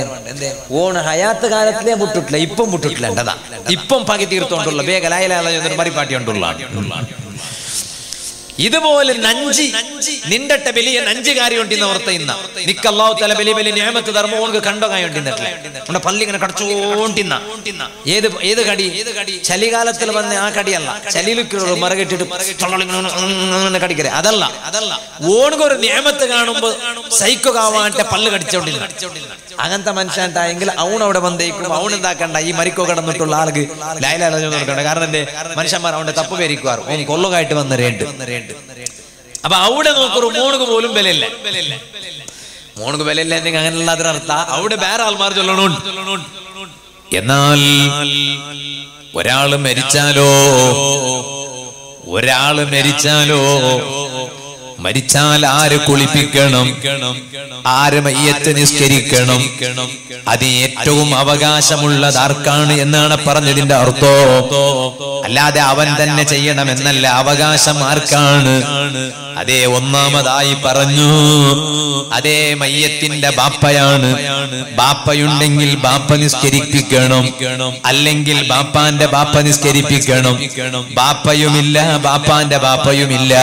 എന്നാൽ അതാ മകൻ നിസ്കരിപ്പിക്കണം. ഇനി മകനില്ലെങ്കിലോ മകന്റെ മകൻ പുള്ളി നിസ്കരിപ്പിക്കണം. ഇനി ഇവരാരുമില്ലേ? സഹോദരൻ നിസ്കരിപ്പിക്കണം. ഇനി സഹോദരനുമില്ലേ? സഹോദരന്റെ മകൻ നിസ്കരിപ്പിക്കണം. ഇനി അവരുമില്ലേ? അല്ല അമ്മു എളാപ്പയുണ്ടോ? ബാപ്പാന്റെ സഹോദരനുണ്ടോ? മൂത്താപ്പയുണ്ടോ? അവർ നിസ്കരിപ്പിക്കണം. അതാണ് ക്രമം. എന്നാൽ അവിടെ അവർക്കാണ് മഹത്വം അവർക്കാണ് അവിടെ വില. എന്നാൽ മൂന്നാമതായി പറഞ്ഞു ഇനി ഈ മയ്യത്ത് ചുമന്നു കൊണ്ടുപോയി ഈ മയ്യത്ത് ചുമന്നു കൊണ്ടുപോയി കബറിൽ കിടത്തേണ്ടതാരാണ് അവിടെ തന്നെ പണ്ഡിതന്മാര് പറഞ്ഞു മയ്യത്ത് ചുമന്നു കൊണ്ടുപോകേണ്ടത് പുരുഷന്മാരാണ്. സ്ത്രീകൾ അല്ല മയ്യത്ത് ചുമന്നു കൊണ്ടുപോകേണ്ടത്. എന്തേ കാരണം? സ്ത്രീകൾ പൊതുരംഗ പ്രവേശനം നടത്തുമ്പോൾ ചിന്തിക്കണം. അള്ളാഹു താല അനുമതി നൽകിയതിനല്ലാതെ നിങ്ങൾ രംഗപ്രവേശനം നടത്തിക്കൂടാ. ഓരോന്നിനും പരിധിയുണ്ട് വല താഴ്ത്തതു. നിങ്ങൾ പരിധി വിട്ട് വന്നുകൂടാ. പരിധി വിട്ടു വന്നാൽ അല്ല നിങ്ങളെ വിടൂല. പല രൂപത്തിലും അല്ല നിങ്ങളെ ഫിത്തിനയിലാകും ഇത് പരിശുദ്ധ ഖുർആാനിൽ അല്ല പറഞ്ഞതല്ലേ? അതുകൊണ്ട് തന്നെ മയ്യത്ത് ചുമക്കേണ്ടത് പുരുഷന്മാരാണ്. ആ പുരുഷന്മാര് മയ്യത്ത് ചുമന്നു കൊണ്ടുപോയി. ഇതാ ഒരു മയ്യത്ത് സ്ത്രീയാണ്. ആ മയ്യത്തിനെ കബറിൽ കടത്തുകയാണ്. അവിടെ ഈ മയ്യത്തിനെ കബറിൽ കടത്താൻ ഏറ്റവും അവകാശമുള്ളത് ആർക്കാണ്? ഭർത്താവിനാണ് കേട്ടോ. അവസാനമാണ്. യാത്ര അയക്കുന്നത് അവസാനം. ആ യാത്ര അയക്കുമ്പോ അവസാനം ഏറ്റവും അവകാശപ്പെട്ടത് ആർക്കാണ്? ഭർത്താവിനാണ്. ഭാര്യ ഭർത്താക്കന്മാരുടെ ബന്ധം നിങ്ങളൊന്നു നോക്കൂ. അതൊരു ചെറിയ ബന്ധമല്ലല്ലോ. ഇപ്പോൾ ഞാൻ അതിലേക്ക് കടക്കുന്നില്ല. ഇപ്പൊ ഞാൻ ഇങ്ങോട്ട് വരുമ്പോൾ ഒരാൾ കോൾ വിളിച്ചു. മസാല ചോദിച്ചു ഉസ്താദേ ഫസ്ഖിനെ കുറിച്ച് ചോദിക്കാൻ വിളിച്ചതാണ്. ஒரு ಪೆಣಿಗ ಫಸ್ಹಾಕು ರೆಡಿ ಆಯ್ತು ನಿಂದ್ರು ಉಸ್ತಾದ್ ಅದರ ಮಸಾಲೆ ಕೇಕು ಕಾಲ್ ಹಾಕಿ ಒಂದಾಯ್ತಾ ஒரு பெண்ணிங்க மாப்பிள்ளட ஃபஸ்ட் கேன்சல் கேன்சல் மாப்பிள்ளட கேன்சல் ஆக்கி அப்ப ஃபஸ்ட் நாக்கு ரெடி ஆயிட்டு நின்று ಅದರ ಮಸಾಲೆ ಕೇಕೋವೆ ನೆಟ್ ಕಾಲ್ அப்ப நான் கேட்டேன் நீங்களா கால் யார் കാരണം ഇങ്ങനത്തെ മസാല എല്ലാം സമാ സമ എല്ലാം എല്ലാം ബന്ധപ്പെട്ട ആൾമാരെല്ലാം ഒട്ടി കാലിറ മുട്ട പോയിട്ട് കേട്ടിട്ട് കാരണം ഇതൊരു വിധിക്കട മസാല ഒരു തീർപ്പാക്കട മസാല. പിന്നെ ആ ഉസ്താദ് അങ്ങനെ ചൊന്തു ഈ ഉസ്താദ് ഇങ്ങനെ ചൊന്തു ചൊന്നിട്ട് ഉസ്താദന്മാരെ നടുവിൽ പിന്നെ പ്രശ്നമാണ് അപ്പൊ അതുകൊണ്ടിട്ട് നിങ്ങൾ അത് ഫസ്റ്റ് അങ്ങനെ ആക്കും. മസാല ചൊന്താറ അത് വിഷയം പക്ഷെ നിങ്ങൾ എന്താക്കണു? കാലിയാമാരെ മുട്ട പോണു. അപ്പൊ നോക്കുമ്പോ എന്താ? നോക്കുമ്പോ ഇയാൾ കല്യാണം കഴിഞ്ഞിട്ട് പന്ത്രണ്ട് വർഷക്കാലമായി. ഭാര്യനെ കല്യാണം കഴിഞ്ഞിട്ട് പന്ത്രണ്ട് വർഷക്കാലായി പിന്നെ പന്ത്രണ്ട് വർഷക്കാലം കല്യാണം കഴിഞ്ഞിട്ട് ഇപ്പോ മൂന്ന് നാല് വർഷമായി ഇയാൾ ഒരു വിവരവും ഇല്ല. ഇയാൾ എവിടെ ഉണ്ടുകൊണ്ട് ഒരു പിടുത്തവും ഇല്ല. ചെലവും കൊടുക്കില്ല പെഞ്ഞേക്ക് കറച്ചു കൊടുക്കില്ല മക്കോ കറച്ചു കൊടുക്കില്ല മക്കയില്ല അവിടെ മ- അത് മക്കാവത്തൊന്നെ ശിവൈത്ത് പെഞ്ഞേക്ക് കർച്ചില്ല കറച്ചു കൊടുക്കില്ല ചെലവ് കൊടുക്കില്ല ഇയാൾ എവിടെ ഉണ്ടുണ്ടേ കൊന്തില്ല അപ്പൊ പെഞ്ഞൈ കുറവിപ്ര പെഞ്ഞ കുറവിപ്ര ഇങ്ങനത്തെ മാപ്പിളുടെ വെച്ചിട്ട് എന്ത് ഗുണ അതുകൊണ്ട് മാപ്പിളുടെ ക്യാൻസൽ ആക്കാൻ ഫസ്റ്റ് തൊലാക്കാവണെങ്കിൽ അയാൾ ഇപ്പറ തൊലാക്ക് വല്ലണ്ടേ അപ്പൊ തൊലാക്ക് വല്ല കയ്യിലില്ല ഫസ്റ്റാക്കാം അത് എന്തിനാക്കറോ ഞാൻ പറഞ്ഞു വന്നത് ഇത് വലിയ അപകടമാണ് പുരുഷന്മാരെ. ഭാര്യമാർക്ക് കൃത്യമായി ചെലവിന് കൊടുക്കണം. അവർക്ക് ചെലവിന് കൊടുത്തില്ലെങ്കിൽ റബ്ബിന്റെ കോടതിയിൽ ചോദ്യമുണ്ട്. ഭാര്യമാരെ സന്തോഷിപ്പിക്കണമില്ലെങ്കിൽ റബ്ബിന്റെ കോടതിയിൽ ചോദ്യമുണ്ട്. ഒരു ഭാര്യ ഭർത്താവിന്റെ ബന്ധം നിങ്ങൾ നോക്കൂ. ഒരു ഭാര്യ മരിച്ചാൽ ആ ഭാര്യയെ അവസാനമായി കബറിൽ കിടത്താൻ ദഫന് ചെയ്യാൻ ഏറ്റവും അവകാശപ്പെട്ടത് അതേ അസൗജു. ഭർത്താവാണ് കേട്ടോ. കാരണം അവസാനമായി യാത്ര പറഞ്ഞേക്കുകയാണ്. അത് ഭർത്താവിന്റെ കൈകൊണ്ടാകട്ടെ അവകാശം ഭർത്താവിനാണ് കേട്ടോ. ഞാൻ പറഞ്ഞു വന്നത് അത്രയും വലിയ ബന്ധമാണ് ഭാര്യ ഭർത്താക്കന്മാരുടേത്. ഇരിക്കട്ടെ ഞാൻ പറഞ്ഞ വിഷയം മറക്കണ്ട. ഞാൻ അതിലേക്ക് മടങ്ങുകയാണ്. ഇതുപോലെ ഓരോ മാസത്തിൽ ചെയ്യേണ്ടുന്ന കാര്യങ്ങളുണ്ട്. റജബ് മാസത്തിൽ ഏറ്റവും കൂടുതൽ നിങ്ങൾ ചെയ്യേണ്ടത് നിങ്ങൾ അള്ളാഹുവിനോട് പൊറുക്കലിനെ ചോദിച്ചു. ഇസ്തിഗ്ഫാർ ചൊല്ലിക്കോ. നമ്മൾ ഏത് വിഷയവും ഒന്ന് ചെറുതായി കാണാൻ പാടില്ല. ഏത് വിഷയവും നമ്മൾ വാലിന്റെ സദസ്സിൽ കേൾക്കുന്ന ഏത് വിഷയവും നമ്മളതൊന്ന് ചെറുതായി കാണാൻ പാടില്ല. അതിൽ നമ്മുടെ ജീവിതത്തിൽ വലിയ മാറ്റങ്ങൾ ഉണ്ടാകൂ. ഇന്നും മാറ്റമുണ്ട്. എക്കാലത്തും മാറ്റമുണ്ട്. നന്നാകുന്നവർ നന്നായിക്കൊണ്ടേയിരിക്കുന്നു. ചില ആളുകൾ മാത്രം ആ വഴിപഴച്ചുകൊണ്ടിരിക്കുന്നു വാല കേട്ട് എത്രയോ ആളുകൾ നന്നാകുന്നവരുണ്ട്. പഴയ കാലത്തും നന്നായിട്ടുണ്ട്. ഇന്നും നന്നായിട്ടുണ്ട്. പല ആളുകളും അതാ മെസ്സേജ് ചെയ്യും. പല ആളുകൾ കോൾ വിളിക്കും. ഉസ്താദേ ഞാൻ ഉസ്താദിന്റെ വാളുകൾക്കും എന്നിട്ട് അത് കട്ട് ചെയ്തിട്ട് എന്റെ ബാപ്പാക്ക് കേൾപ്പിക്കൂ. ചില സഹോദരിമാര് വിളിച്ചു പറയും. എന്നിട്ട് ഞാൻ ഉമ്മാക്ക് കേൾപ്പിക്കും. എന്റെ സഹോദരിക്ക് കേൾപ്പിക്കും. എനിക്കും അവർക്കും ഒരുപാട് പഠിക്കാനുണ്ടായിട്ടുണ്ട്. എന്ന് ഒന്നിനും കൊള്ളാത്ത ഈ പാവപ്പെട്ട മുത്തല്ലിമായ ഇന്ന് ഇന്ന് വാൽ പറയുന്നവരുടെ കൂട്ടത്തിൽ ഒന്നിനും കൊള്ളാത്തവനാണ് ഈ മുത്താലിമായ ഞാൻ. എന്റെ വാൽ കൊണ്ട് തന്നെ ജനങ്ങൾ അങ്ങനെ പറയുന്നുണ്ടെങ്കിൽ എന്നെക്കാൾ ഉഷാരിൽ വാൽ പറയുന്ന എത്ര ആളുകളുണ്ട്? അവരെ വാൽ കേട്ട് നന്നാകുന്നവരെത്രയാ ഞാൻ എന്റെ വാൽ കേൾക്കുന്ന ഉമ്മമാരോട് പറയട്ടെ. വാലിൽ കേൾക്കുന്ന ഒറ്റ വിഷയവും പോലും നമ്മൾ ചെറുതായി കണ്ടുകൂടോ. പരിശുദ്ധ ഖുർആനിൽ അല്ല പറഞ്ഞത് കണ്ടില്ലേ? വലൗ ഫഅലൂ മാ യുഅദൂന ബിഹി ലകാന ഖൈറൻ ലഹും വഅശദ്ദ തസ്ബീതാ. അവർ വാൽ കേട്ടതനുസരിച്ച് നടന്നാൽ വാൽ പറയൽ ജോറ് വാൽ കേൾക്കൽ ജോറ്. വാൽ പറഞ്ഞതനുസരിച്ച് പറയുന്ന മുസ്ലിയാറ് നടന്നാൽ വാൽ കേട്ടതനുസരിച്ച് കേട്ട ജനങ്ങൾ നടന്നാൽ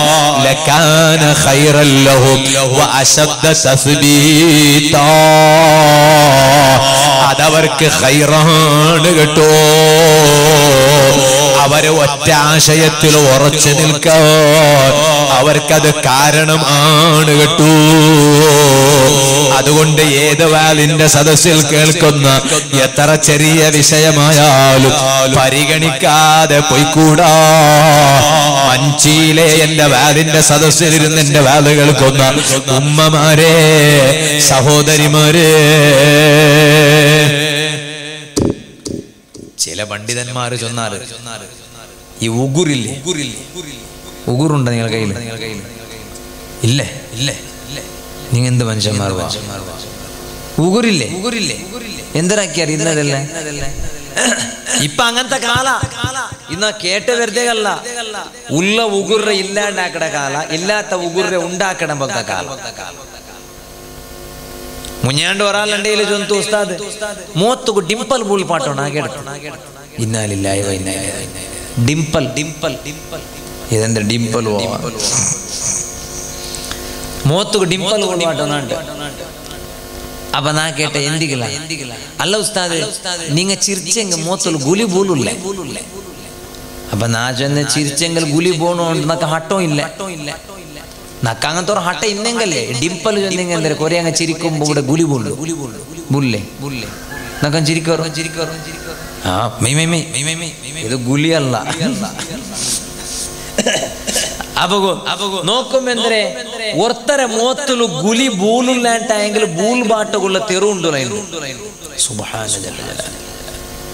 കേട്ടിട്ട് നെരിച്ചു പോയ റബ്ബേ. ഇനിയിപ്പൊ മനുഷ്യടെ ഒന്ന് പടക്കുക മാത്രമാക്കി ഹാൻഡ് ഗുലി ഇല്ല. ഇപ്പൊ ചിരിക്കുമ്പോ നിങ്ങളെ മൂത്തുള്ള ഗുലി പോലില്ലെങ്കിൽ ഡിംപിൾ പോലില്ലെങ്കിൽ ബൂൽ പാട്ടുള്ള തെറുണ്ട് അത് മൂത്തിൽ എന്തോ നാക്കടാറില്ല അതാക്കിയെങ്കിൽ ഗുലി പോലുണ്ട്. കാലകാലം. കാലകാലം. ഉസ്താദ് പെൺമക്ക കേൾക്കുവാറിപ്പ എവിടെ ഉസ്താദ് അത്? എവിടെ? എവിടെ? ഒന്ന് ചൊല്ലൂർ ഉസ്താദ്. നക്ക് മങ്ങിലുണ്ട് ഉസ്താദ്. മങ്ങിലത്തെ മൂന്നോലൊന്ന് ഇടുപാട്ടെ വേണ്ട പെങ്ങളെ അതര പേരോലൊന്നും പോണ്ട. അള്ളാഹു നിക്ക് തന്ന ചന്തമൈടി. നിന്റെ ഏറ്റവും വലിയ ചന്തേന്ദ്രം ഒന്നുണ്ടായ മഹാന്മാർ ചൊന്നാർ ഒരു പെണ്ണിന്റെ ഏറ്റവും വലിയ ചന്തേന്ദ്ര ചങ്ക. ചങ്ക ചങ്കയുടെ അപ്പുറത്തെ ഒരു ചന്ത ഒരു പെണ്ണുകും അള്ളാഹു കൊടുത്തിട്ടില്ലേ. ഒരു പെണ്ണിന്റെ ശരീരത്തിലുള്ള ഏറ്റവും വലിയ സൗന്ദര്യം എന്താണ് ആ പെണ്ണിന്റെ മുഖമല്ല കൈയല്ല കാലല്ല കണ്ണല്ല പിരിക അല്ല.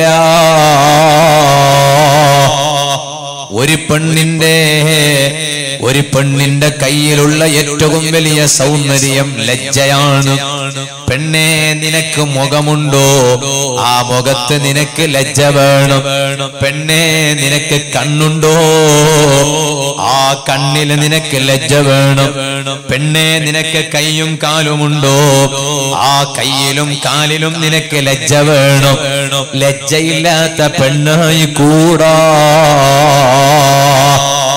ഇരിക്കട്ടെ ഞാൻ പറഞ്ഞ വിഷയം മറക്കണ്ട ഞാൻ പറഞ്ഞു വന്നത് നമ്മൾ കേൾക്കുന്ന വാൽ എത്ര ചെറിയ വിഷയമായാലും നമ്മളത് വലിയ കാര്യത്തിലെടുക്കണം നമ്മുടെ നഖങ്ങളുണ്ട് ബെർലുണ്ടു ഉഗുറുണ്ടു. ബെർലക്ക് ഉഗുറുണ്ടു. ഉഗുരെടുക്കണു. ബാലാസരണ്ട് ഉഗുരെടുക്കട സുന്നത്തുണ്ടു. ബല്യാസരണ്ട് ജുമായത്തേക്ക് പോണ്ട മുന്നോൽ ഉഗുരെടുക്കടത് സുന്നത്തുണ്ടു. ഇല്ലേ? എന്നാ ചില പണ്ഡിതന്മാര് നഖം വെട്ടരുത് എന്ന് പറഞ്ഞ ഒരു ദിവസമുണ്ട് ബുധനാഴ്ച. ആ ബുധനാഴ്ച നഖം വെട്ടരുത് എന്ന് ചില പണ്ഡിതന്മാര് പറഞ്ഞിട്ടുണ്ട്. ഇനി ഇത് വലിയ തർക്ക വിഷയമാക്കിട്ട് എടുക്കണ്ട അതിനാണ് ഞാൻ അങ്ങനെ പറഞ്ഞത്. അങ്ങനെ ബുധനാഴ്ച നഖം വെട്ടിയാൽ ചിലപ്പോൾ വെള്ളപ്പാണ്ട് രോഗമുണ്ടാകാൻ സാധ്യതയുണ്ട് എന്നും ചില പണ്ഡിതന്മാർ അതിന് ന്യായം പറഞ്ഞിട്ടുണ്ട്. അപ്പൊ ലോക പ്രശസ്ത പണ്ഡിതനായ ഇബനുൽ ഹാജ് മാലിക്കി മധുഹബുകാരനാണ് ആ മഹാനവരുകൾ അതാ നഖം വെട്ടാൻ തീരുമാനിച്ചു. നോക്കുമ്പോൾ അന്ന് ബുധനാഴ്ചയാണ്. അപ്പോഴാണ് മഹാനവരുകൾ ചിന്തിക്കുന്നത് ബുധനാഴ്ച നഖം വെട്ടരുത് എന്ന് നബി സല്ലല്ലാഹു അലൈഹി വസല്ലം തങ്ങൾ പറഞ്ഞ ഒരു ഹദീസ് ഞാൻ കണ്ടിട്ടുണ്ട്. പക്ഷേ ആ ഹദീസ് അത്ര കണ്ട് സ്വഹീഹ് ഒന്നുമല്ല. എന്റെ അരികിൽ എന്റെ അരികിൽ അത് അത്ര വലിയ സ്വഹീഹായ ഹദീസ് അല്ല എന്നിട്ട് മഹാനവരുകൾ ബുധനാഴ്ച നഖം വെട്ടി. നോക്കുമ്പോൾ മഹാനവരുകൾക്ക് ചരിത്രത്തിൽ കാണാം. മഹാനവരുകൾക്ക് വെള്ളപ്പാണ്ട് രോഗം പിടിപെട്ടു. അന്ന് മഹാനവരുകൾ സ്വപ്നം കാണുകയാണ് നബി സല്ലല്ലാഹു അലൈഹി വസല്ലമ തങ്ങളെ. ആ സ്വപ്നത്തിൽ നബിതങ്ങൾ വന്നിട്ട് ചോദിച്ചു അല്ലയോ ഇബനുൽ ഹാജ്?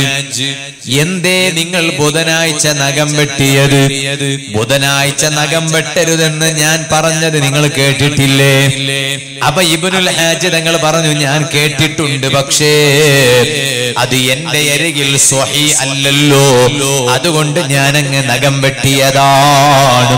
നബി സല്ലല്ലാഹു അലൈഹി വസല്ലം തങ്ങൾ അവിടുത്തെ ശറഫാക്കപ്പെട്ട കൈകൊണ്ട് ഇബനുൽ ഹാജ് തങ്ങളെ ശരീരമൊന്ന് തടവി കൊടുത്തു. വെള്ളപ്പാണ്ട് രോഗം നീങ്ങിപ്പോയി. പിന്നെ റളിയല്ലാഹു അൻഹു തങ്ങൾ തീരുമാനിക്കുകയാണ് ഇനി ഞാൻ എന്റെ ജീവിതത്തിൽ ഇനി ഞാൻ എന്റെ ജീവിതത്തിൽ അതേ ഒരു ഹദീസ് കേട്ടാൽ അതിനെതിരെ ഞാൻ ഒന്നും ചെയ്യൂല. അതിനാണ് ഞാനിത് പറഞ്ഞത്. ബാലിന്റെ സദസ്സിന് ഒരു വിഷയം കേട്ടാൽ നമ്മളത് ചെറുതായി കാണരുത്. കഴിവിന്റെ പരമാവധി നമ്മളത് ശ്രദ്ധിക്കാൻ നോക്കണം. അപ്പൊ റജബ് മാസത്തിൽ കൂടുതലും ചെല്ലേണ്ടുന്നത് എന്താണ്. ജീവിതത്തിൽ വന്ന പാപങ്ങളില്ലേ റബ്ബിലേക്ക് കൽബ് തിരിച്ച് പശ്ചാത്തപിച്ചോ. കാരണം റജബ് മാസം എന്നത് കഴുകി ശുദ്ധിയാകാനുള്ള മാസമാണ് കേട്ടോ. കഴുകി ശുദ്ധിയാകണമെങ്കിൽ ധാരാളം ഇസ്തിഗ്ഫാർ ചൊല്ലിക്കോ. പൊറുക്കലിനെ ചോദിച്ചോ. ഏത് വിഷയത്തിനും തൗബ പരിഹാരമാണ് പാപം പുറത്തു കിട്ടാൻ മാത്രമല്ല നമുക്ക് അള്ളാഹുവിൽ നിന്ന് സഹായം കിട്ടാൻ നമ്മുടെ പാപങ്ങൾ കിട്ടാതിരിക്കാൻ നമ്മുടെ പാപങ്ങൾ ഒരു കാരണമാണ്. അള്ളാഹുവിൽ നിന്ന് നമുക്കൊരു സഹായം കിട്ടാതിരിക്കാൻ നമ്മുടെ ജീവിതത്തിൽ വന്നുപോയ പാപം ഒരു കാരണമാണ്. ഒരു ചെറുക്ക ഉസ്താദ് ചെമ്മായിട്ട് പൊതു നോക്കട ഉസ്താദ് ഒരു പൊതും സെറ്റാവൂല്ലേ നീ എന്തമാ ഒരു തപ്പാക്കിട്ടിക്കുവല അല്ല. പൊറുക്കാത്ത എന്തമാ ഒന്ന് നീ ഇണ്ട് തോൽ ആക്കിട്ടിക്കുക അത് ഇണ്ട് തോൽ നീ കണ്ടിന്യൂ ആക്കിട്ടിക്കുക അതുകൊണ്ടിട്ട് നിനക്ക് പൊതു സെറ്റായോണ്ടില്ല അല്ല അല്ല ഒരാൾ ചൊല്ലു ഉസ്താദ് നല്ല നെയ്പ്പിൾ നമുക്ക് മറക്കത്തേ ഇല്ല ഉസ്താദ്. തൊട്ടതിനൊന്നും മറക്കത്തില്ല. അങ്ങനെ ആയെങ്കിൽ എല്ലാ മൊത്തം അങ്ങനെ ഉണ്ടല്ലതാ ചൊല്ലേ. ഇന്നെങ്കിൽ അങ്ങനെ. അപ്പൊ അതിന്റെ അർത്ഥം എന്തിനെങ്കിൽ എന്തമാ അല്ല അല്ല പൊറുക്കാത്ത എന്തമാ ഒന്ന് നിന്റെ ലൈഫിൽ ഉണ്ട് തോലും നീ ആക്കിയോണ്ടില്ലേ? അതുകൊണ്ട് നീ തുടർ നെയ്പ്പിലും നീ തുടർ ബാല്യത്തിലും എന്തോ ഒരു ബർക്കത്ത് കിട്ടിയോണ്ടില്ല? ഒരു പച്ച കിട്ടിയോണ്ടില്ലേ? ഈ പറഞ്ഞ എല്ലാ വിഷയത്തിനും പരിഹാരമാണ് തൗബ. പശ്ചാത്തപിക്കണം. അതിന് പറ്റിയ ഏറ്റവും നല്ല മാസമാണ് പരിശുദ്ധ റജബ് മാസം. മാസം അതുകൊണ്ടല്ലോ നിങ്ങൾ നോക്ക്. ആ റബ്ബിലേക്ക് കൽബ് തിരിച്ച് നമ്മൾ മാപ്പ് ചോദിച്ചാൽ പൊറുക്കാത്തവനല്ലല്ലോ സൃഷ്ടാവായ റബ്ബ്. കയ്യും കണക്കുമില്ലാത്ത പാപമാണോ? ഏത് പാപവും അല്ല പൊറത്തു തരും കേട്ടോ. ചരിത്രത്തിൽ കാണാം. ബഹുമാനപ്പെട്ട ഈസാ നബി അലിഹിസലാം ഈസാ നബി അലിഹിസലാമിന്റെ കാലത്ത് മഴയില്ല. അപ്പൊ ഈസാ നബി അലൈഹിസലാം അള്ളാഹുവിനോട് മഴയ്ക്ക് വേണ്ടി അതാ ദുആ ചെയ്യുകയാണ്. അപ്പൊ അള്ളാഹു ഈസാ നബി അലൈഹിസ്സലാമിനോട് പറഞ്ഞു ഈസാ നബിയെ നിങ്ങൾ എന്നോട് മഴ ചോദിക്കുകയാണ്. ഞാൻ മഴ നൽകണമെങ്കിൽ അതാ നിങ്ങളെ സദസ്സിൽ തെറ്റ് ചെയ്ത ആളുകൾ ഉണ്ട് അവരോട് പോകാൻ പറയണം. ഈസാ നബി അലൈഹിസ്സലാം ഉത്തരവിട്ടു. ആ സദസ്സിൽ തെറ്റ് ചെയ്തിരുന്ന ജനങ്ങളൊക്കെ അവിടുന്ന് എണിറ്റങ്ങ് പോയി. അപ്പോഴാണ് ഈസാ നബി അലൈഹിസ്സലാം ആ സദസ്സിൽ ഒരു ചെറുപ്പക്കാരനെ കാണുന്നു. എല്ലാവരും തെറ്റ് ചെയ്തതിന്റെ പേരിൽ ആ സദസ്സിൽ നിന്ന് എണീറ്റുപോയി പക്ഷേ ഒരു ചെറുപ്പക്കാരൻ അവിടെയുണ്ട്. ആ ചെറുപ്പക്കാരൻ എണീറ്റു പോയില്ല. ആ ചെറുപ്പക്കാരന്റെ അരികിൽ ചെന്നു ഈസാ നബി അലൈഹിസ്സലാം നോക്കുമ്പോൾ ആ ചെറുപ്പക്കാരന്റെ വലത്തെ കണ്ണ് കാണുന്നില്ല. വലതുഭാഗത്തുള്ള കണ്ണിനെ എടുത്തു കളഞ്ഞിരിക്കുന്നു. ഇടത്തെ കണ്ണ് മാത്രമാണ് ആ ചെറുപ്പക്കാരന്റെ മുഖത്തുള്ളത്. വലതുഭാഗത്ത് കണ്ണിൽ കാണുന്നില്ല. ഈസാ നബി അലിസ്സലാം അവനോട് ചോദിച്ചു അല്ല മനുഷ്യ ചെറുപ്പക്കാരാ? നിന്റെ വലത് ഭാഗത്തുള്ള കണ്ണ് എവിടെ പോയി മോനെ? നിന്റെ വലത് ഭാഗത്തുള്ള കണ്ണ് കാണുന്നില്ലല്ലോ. ആ ചെറുപ്പക്കാരൻ എന്താ പറഞ്ഞത്? ഓ ഈസാ നബിയേ അത് ഞാൻ അങ്ങ് എടുത്തു കളഞ്ഞതാണ്. അപ്പൊ ഈ നബി അലൈഹി സ്വലാം ചോദിച്ചു എന്തിനാടാ നീ ആ കണ്ണെടുത്തു കളഞ്ഞത്? അപ്പൊ ഈസാ നബി അലൈഹി സ്വലാം പറഞ്ഞു ഈ നബി അലൈഹി സ്വലാമിനോട് ഈ ചെറുപ്പക്കാരൻ പറഞ്ഞു ഞാൻ ഒരിക്കലും ഇങ്ങനെ നടന്നു പോകുമ്പോൾ അതാ നളറത്ത് ഐനി അൽ യുംന ഇലാ ഖദമി ഇംറഅത്തിൻ മിൻ ഗൈരി ഖസ്ദിൻ. എന്റെ വലത്തെ കണ്ണ് അതാ ഒരു അന്യ പെണ്ണിന്റെ കാലിലേക്ക് നോക്കിപ്പോയതാണ്. നോക്കണം എന്ന് കരുതിയിട്ട് നോക്കിയതല്ല കണ്ടുപോയതാണ്.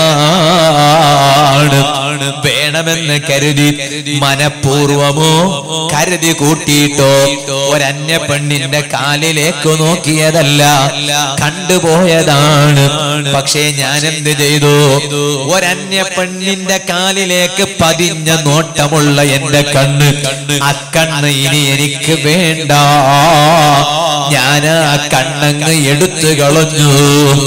എന്നിട്ട് ഈ ചെറുപ്പക്കാരൻ ഈസാ നബി അലൈഹി സ്വലാമിനോട് പറയാണ് ഒരു പക്ഷേ ഞാൻ എന്റെ ഇടത്തെ കണ്ണുകൊണ്ട് ഞാൻ അതുപോലെ ആ പെണ്ണിന്റെ കാലിലേക്ക് നോക്കിയിരുന്നുവെങ്കിൽ എന്റെ ഇടത്തെ കണ്ണിനെയും ഞാനങ്ങ് എടുത്തു കളയുമായിരുന്നു. ചെറുപ്പക്കാരൻ ഇതങ്ങ് പറഞ്ഞപ്പോ ഈസാ നബി അലൈഹിസലാം പറയുകയാണ് എന്നാൽ മഴയ്ക്ക് വേണ്ടി ദുആ ചെയ്യേണ്ടത് ഞാനല്ല. എന്നെക്കാളും ഏറ്റവും ദുആക്ക് തരപ്പെട്ട ആൾ നിങ്ങളാണ് കേട്ടോ.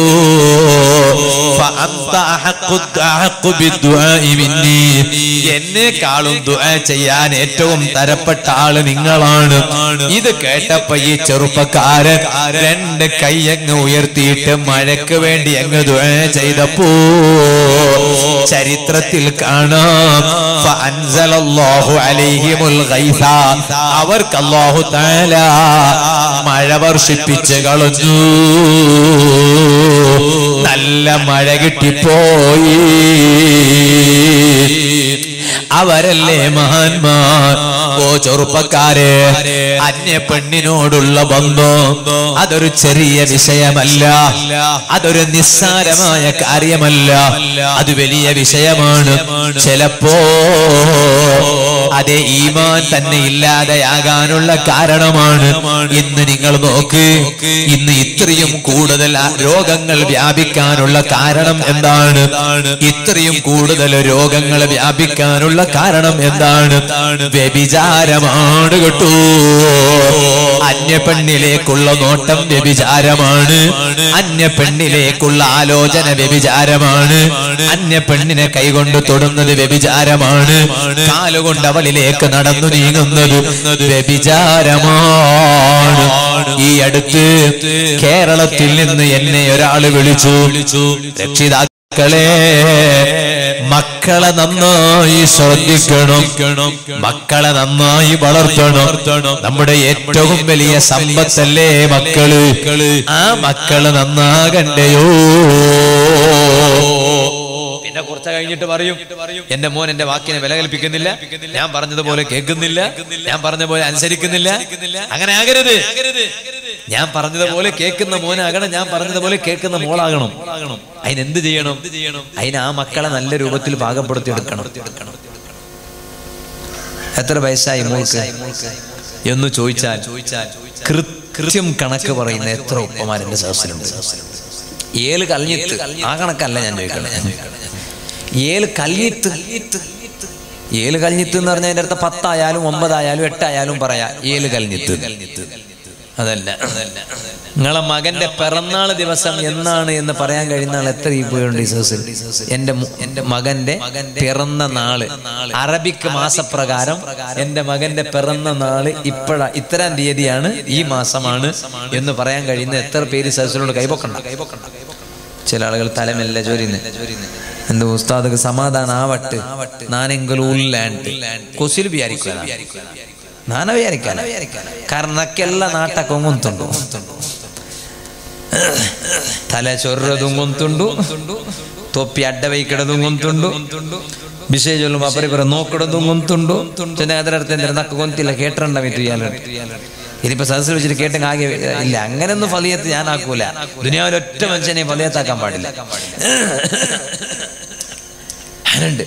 ബാക്കി എല്ലാത്തിനും ഭയങ്കര ഉഷാറാ. ഇന്ന് പുതിയൊന്നും തുടങ്ങിയിട്ടുണ്ട്. പണ്ട് ബർത്ത്ഡേ മാത്രമായിരുന്നു. ഇന്ന് ഓരോ മാസം കൂടുമ്പോഴും ബർത്ത്ഡേ ആണ്? ഈ വാട്സപ്പ് ഉള്ളത് കൊണ്ട് ഓരോ മാസം കൂടുമ്പോഴും ബർത്ത്ഡേ. നിങ്ങൾ ചോദിക്കും ഇതെന്ത് പിരാന്തോസ്ത അത് ഓരോ മാസം കൂടെ. തിങ്കൾ കഴിഞ്ഞ ബർത്ത്ഡേ അവിടെ. അത് ബർക്കോണത്തരെ ഇത് ബർത്ത്ഡേ അവിടെ എങ്ങനെ തിങ്കൾ ഓർക്കാൻ? അല്ലാ ഒരാൾ നണ്ടിൽ ചൊന്ത് ഉസ്താദെ കൊറിയ പെണ്ണുങ്ങളെ സ്റ്റാറ്റസിൽ കാണുന്ന ഉസ്താദ് നീ എന്തില്ല പെണ്ണുങ്ങളെ സ്റ്റാറ്റസ് പോയി നോക്കോ വേടോ നോക്കുമ്പോ സ്റ്റാറ്റസ് ആറ് ആറാറ് വേണം സ്വന്തം പെഞ്ഞേടിന്റെ സ്റ്റാറ്റസ്. അത് നോക്കിയില്ല പിന്നെ മര്യാദ ഉണ്ട് സ്വന്തം പെഞ്ഞയുടെ വാട്സാപ്പിടെ സ്റ്റാറ്റസ് നോക്കിയില്ല പിന്നെ ഓണെങ്കിൽ എന്ത് വേല മാപ്പിളേക്ക്?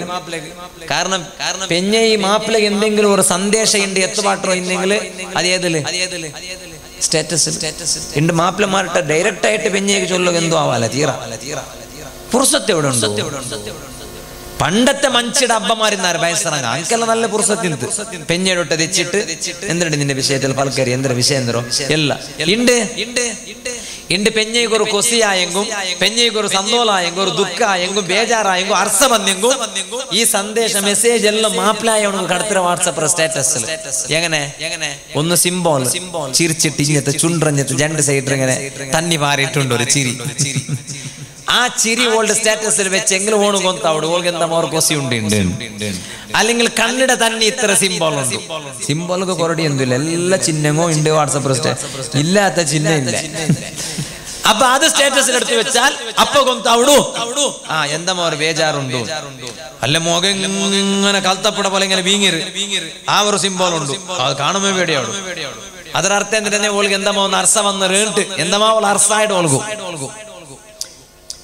അപ്പൊ മാപ്പിലായവൻ നോക്കിയതാ പെഞ്ഞയിന്റെ status നോക്കുമ്പോണ്ട് month first month first month first month first തിങ്കൾ കിടാവ് ഉർത്തിങ്ങൾ ഭർത്തിയായ സാർത്ഥക് കിടാവുകോ എല്ലാം ഇമയ്യ ഇട്ടിട്ട് തൊപ്പിയെല്ലാം അതും ഇതെല്ലാം ഇട്ടിട്ട് സ്റ്റാറ്റസ് എടുത്ത് വെക്കുക ഫോട്ടോ ഫസ്റ്റ് മന്ത് സെലിബ്രേഷൻ ഉർത്തിങ്ങളുടെ സെലിബ്രേഷൻ സുബാന പിന്നെ പിന്നെ രണ്ടാമത്തെ നിങ്ങൾക്ക് വേറെ celebration second month third month fourth month fifth month sixth month half year എന്നിട്ട് കൗൺസിലാ കൗൺസിലാ ജമാഅത്ത് കമ്മിറ്റി മാസവേല നടക്കണം. അങ്ങനെ മാസവേല നടക്കണം? അർദ്ധവാർഷിക വാർഷിക ഇങ്ങനെ ഒന്നുണ്ടാ വെറുതെ ഈ കണ്ട് കണ്ട മുസീബത്തും ബലാങ്ങും പറകല്ല കാരണം മനുഷ്യൻ മുസ്ലിമുക്ക് ബലയില്ലാണ്ട് ആ മുസ്ലിം പൽക്ക പറഞ്ഞത് ഒന്നും ബലയില്ലാണ്ട് അവ കാരണം എന്തേ? ഞങ്ങ വിചാരിക്കട വേരമേ പക്ഷെ ഇവിടെ അവിടെ അതല്ല. ഇവിടെ അവിടെ ഞങ്ങൾ തെറുതപ്പിറ ഇത് നമ്മൾ മനസ്സിലാക്കണം. ഇത് നമ്മൾ ആലോചിക്കണം ഇത് നമ്മൾ ചിന്തിക്കണം. മക്കളെ നന്നാക്കി വളർത്തണം. കേവലം ഒരു മാസം പൂർത്തിയാകുമ്പോ മുഖത്ത് മയ്യിട്ടിട്ട് ഫോട്ടോ എടുത്തിട്ട് സ്റ്റേറ്റസിൽ എടുത്തു വെച്ചത് കൊണ്ട് മാത്രം കുട്ടിയോടുള്ള കടപ്പാട് തീർന്നില്ല. വലിയ കടപ്പാടുണ്ട് കേട്ടൂ. ഓ മോനെ ബാപ്പ മരിച്ചാൽ ഓ മോനെ ഉമ്മ മരിച്ചാൽ ഉമ്മയുടെയും ബാപ്പയുടെയും കബറിന്റെ അരികിൽ അല്ല നിന്റെ നാട്ടിൽ ഒരാൾ മരിച്ചാൽ അതാ ആ മരിച്ചയാളുടെ മറവ് കംപ്ലീറ്റ് ആയതിനു ശേഷം നീ അവിടെ ഒരു നേരം നിൽക്കണം എന്ന് പണ്ഡിതന്മാര് പഠിപ്പിച്ചില്ലേ? നീ അർജന്റ് കൂട്ടിയിട്ട് ധൃതി കൂട്ടിയിട്ട് തിരിച്ചു വരാൻ പാടില്ല. നീ അവിടെ നിൽക്കണമെന്ന് പണ്ഡിതന്മാര് പറഞ്ഞില്ലേ? ഇന്ന് ഖബറിന്റെ അരികിൽ അതേ ദഫൻ കഴിഞ്ഞ ഉടനെ ഒരു യാസീനോദാൻ പോലും ചില സമയത്ത് നേരം കിട്ടൂല. ഫാത്തിഹ തിരിച്ചു വരികയാണ്. ആര് പോയാലും നീ തിരിച്ചു പോകരുത്.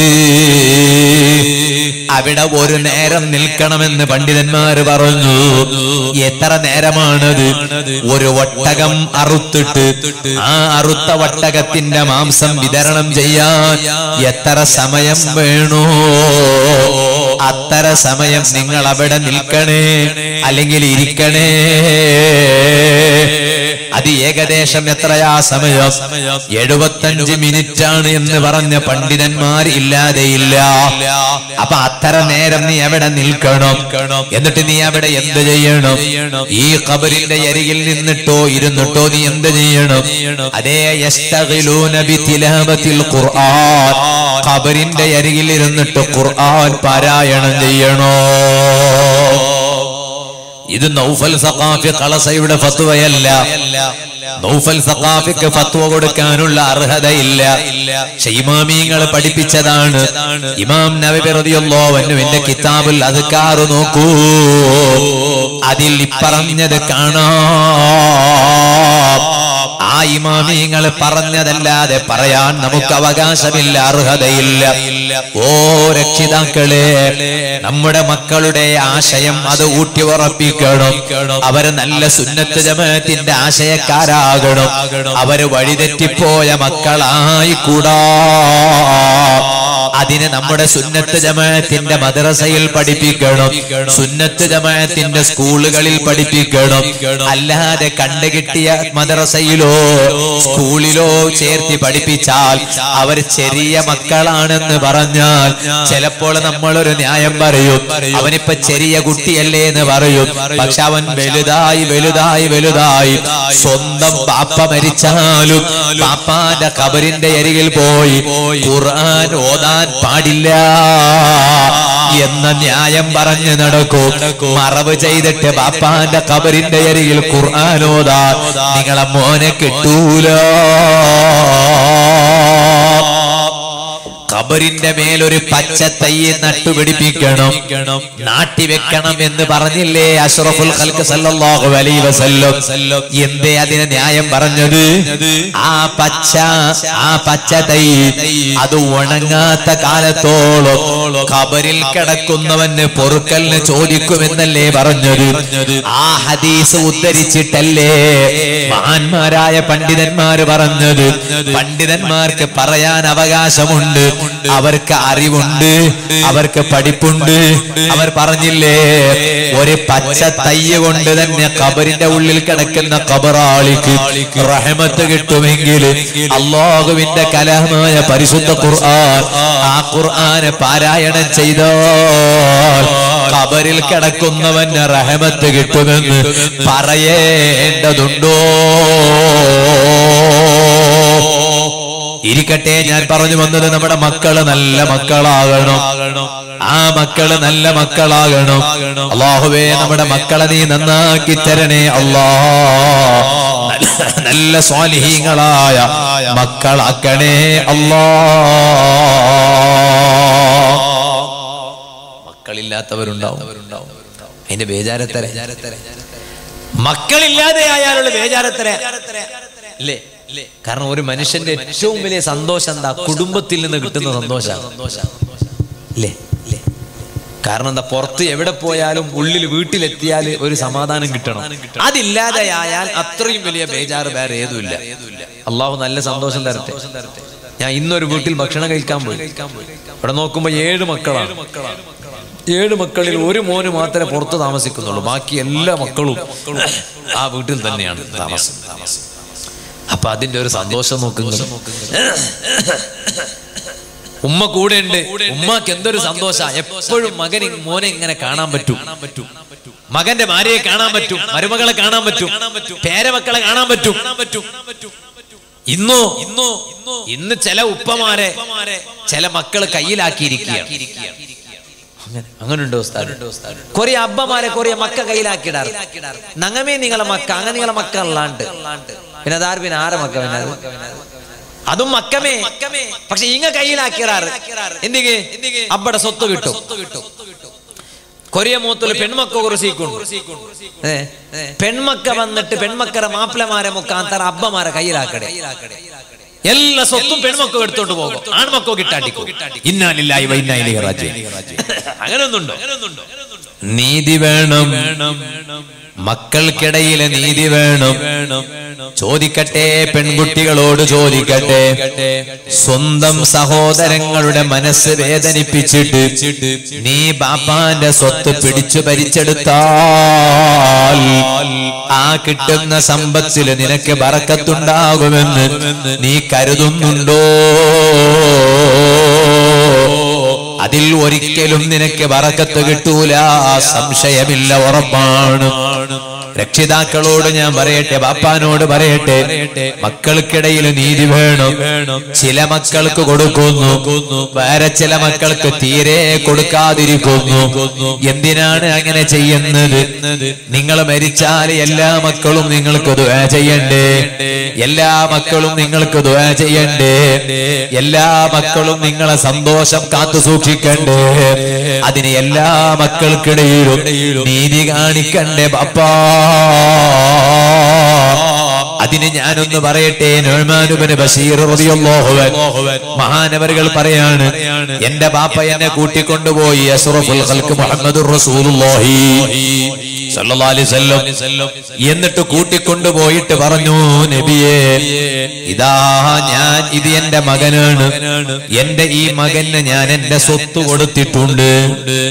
നബി സല്ലാഹു അലഹി വസല്ലം തങ്ങൾ ഉടൻ തന്നെ ചോദിച്ചു അല്ല ബാക്കിയുള്ള മക്കൾക്കും നിങ്ങൾ ഇതുപോലെ കൊടുത്തിട്ടുണ്ടോ?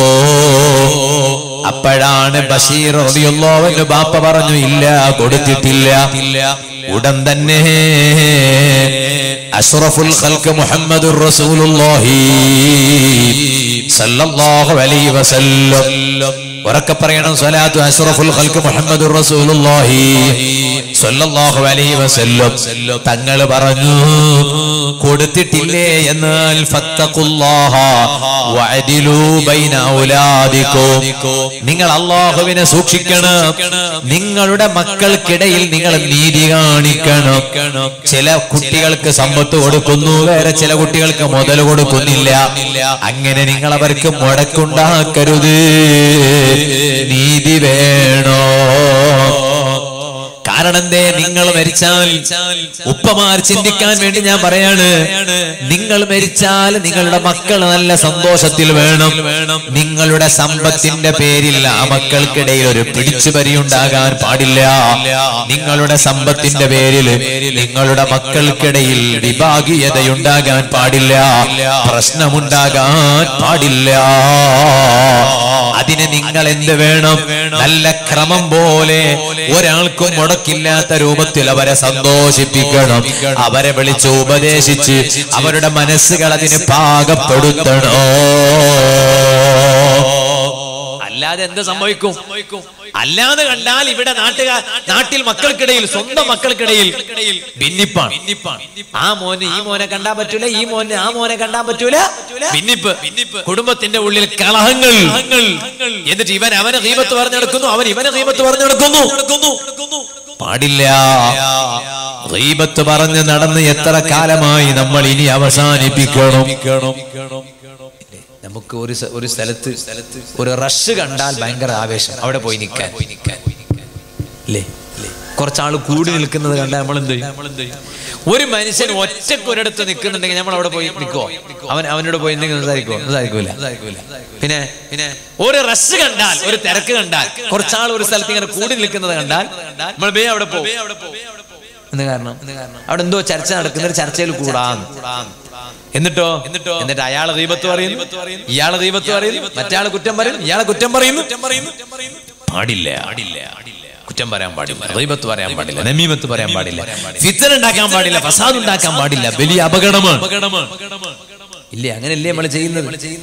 അതേ സമയത്ത് കുറെ ആൾ കൂടുന്ന ഒരു സ്ഥലമുണ്ട്. ജമായത്ത് സുബൈ ജമായത്ത് സുബൈ ജമായത്ത് ഒന്നും വരില്ല നല്ലതിന് ആൾ കൂടിയാൽ അവിടെ കാണൂല.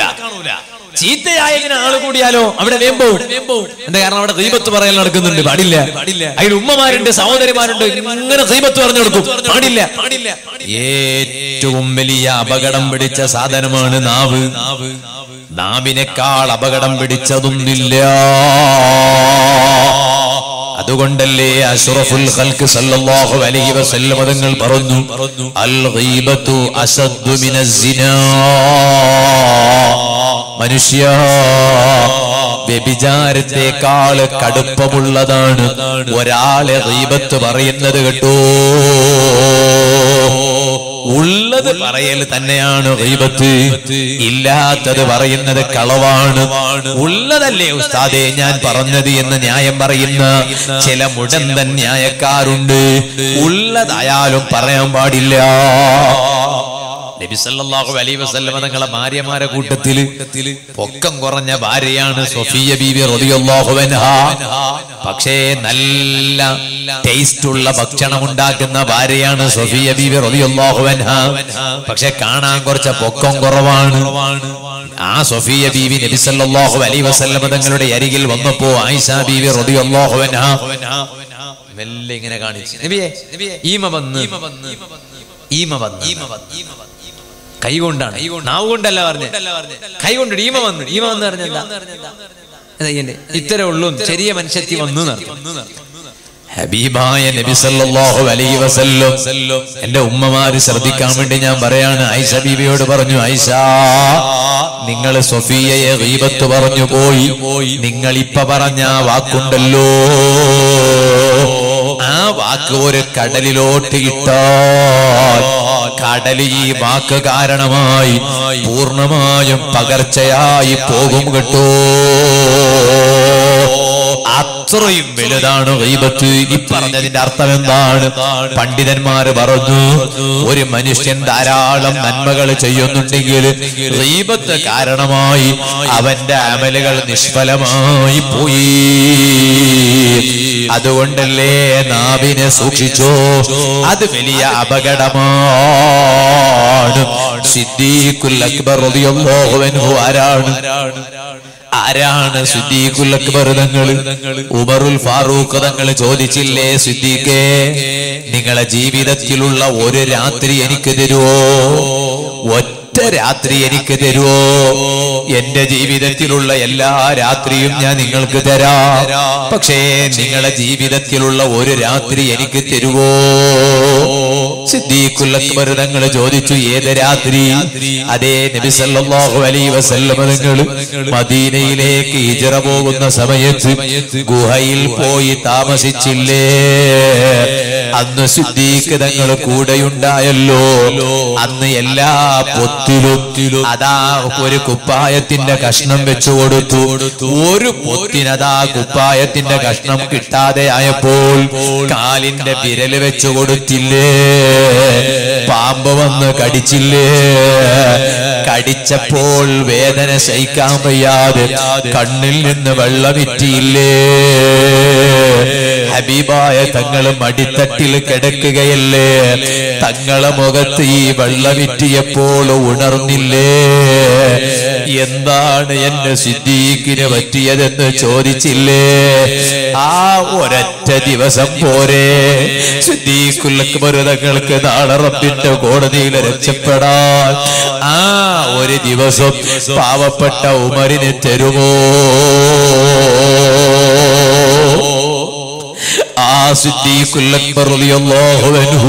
മഹാനവരുകളുടെ ചരിത്രത്തിൽ കാണാം.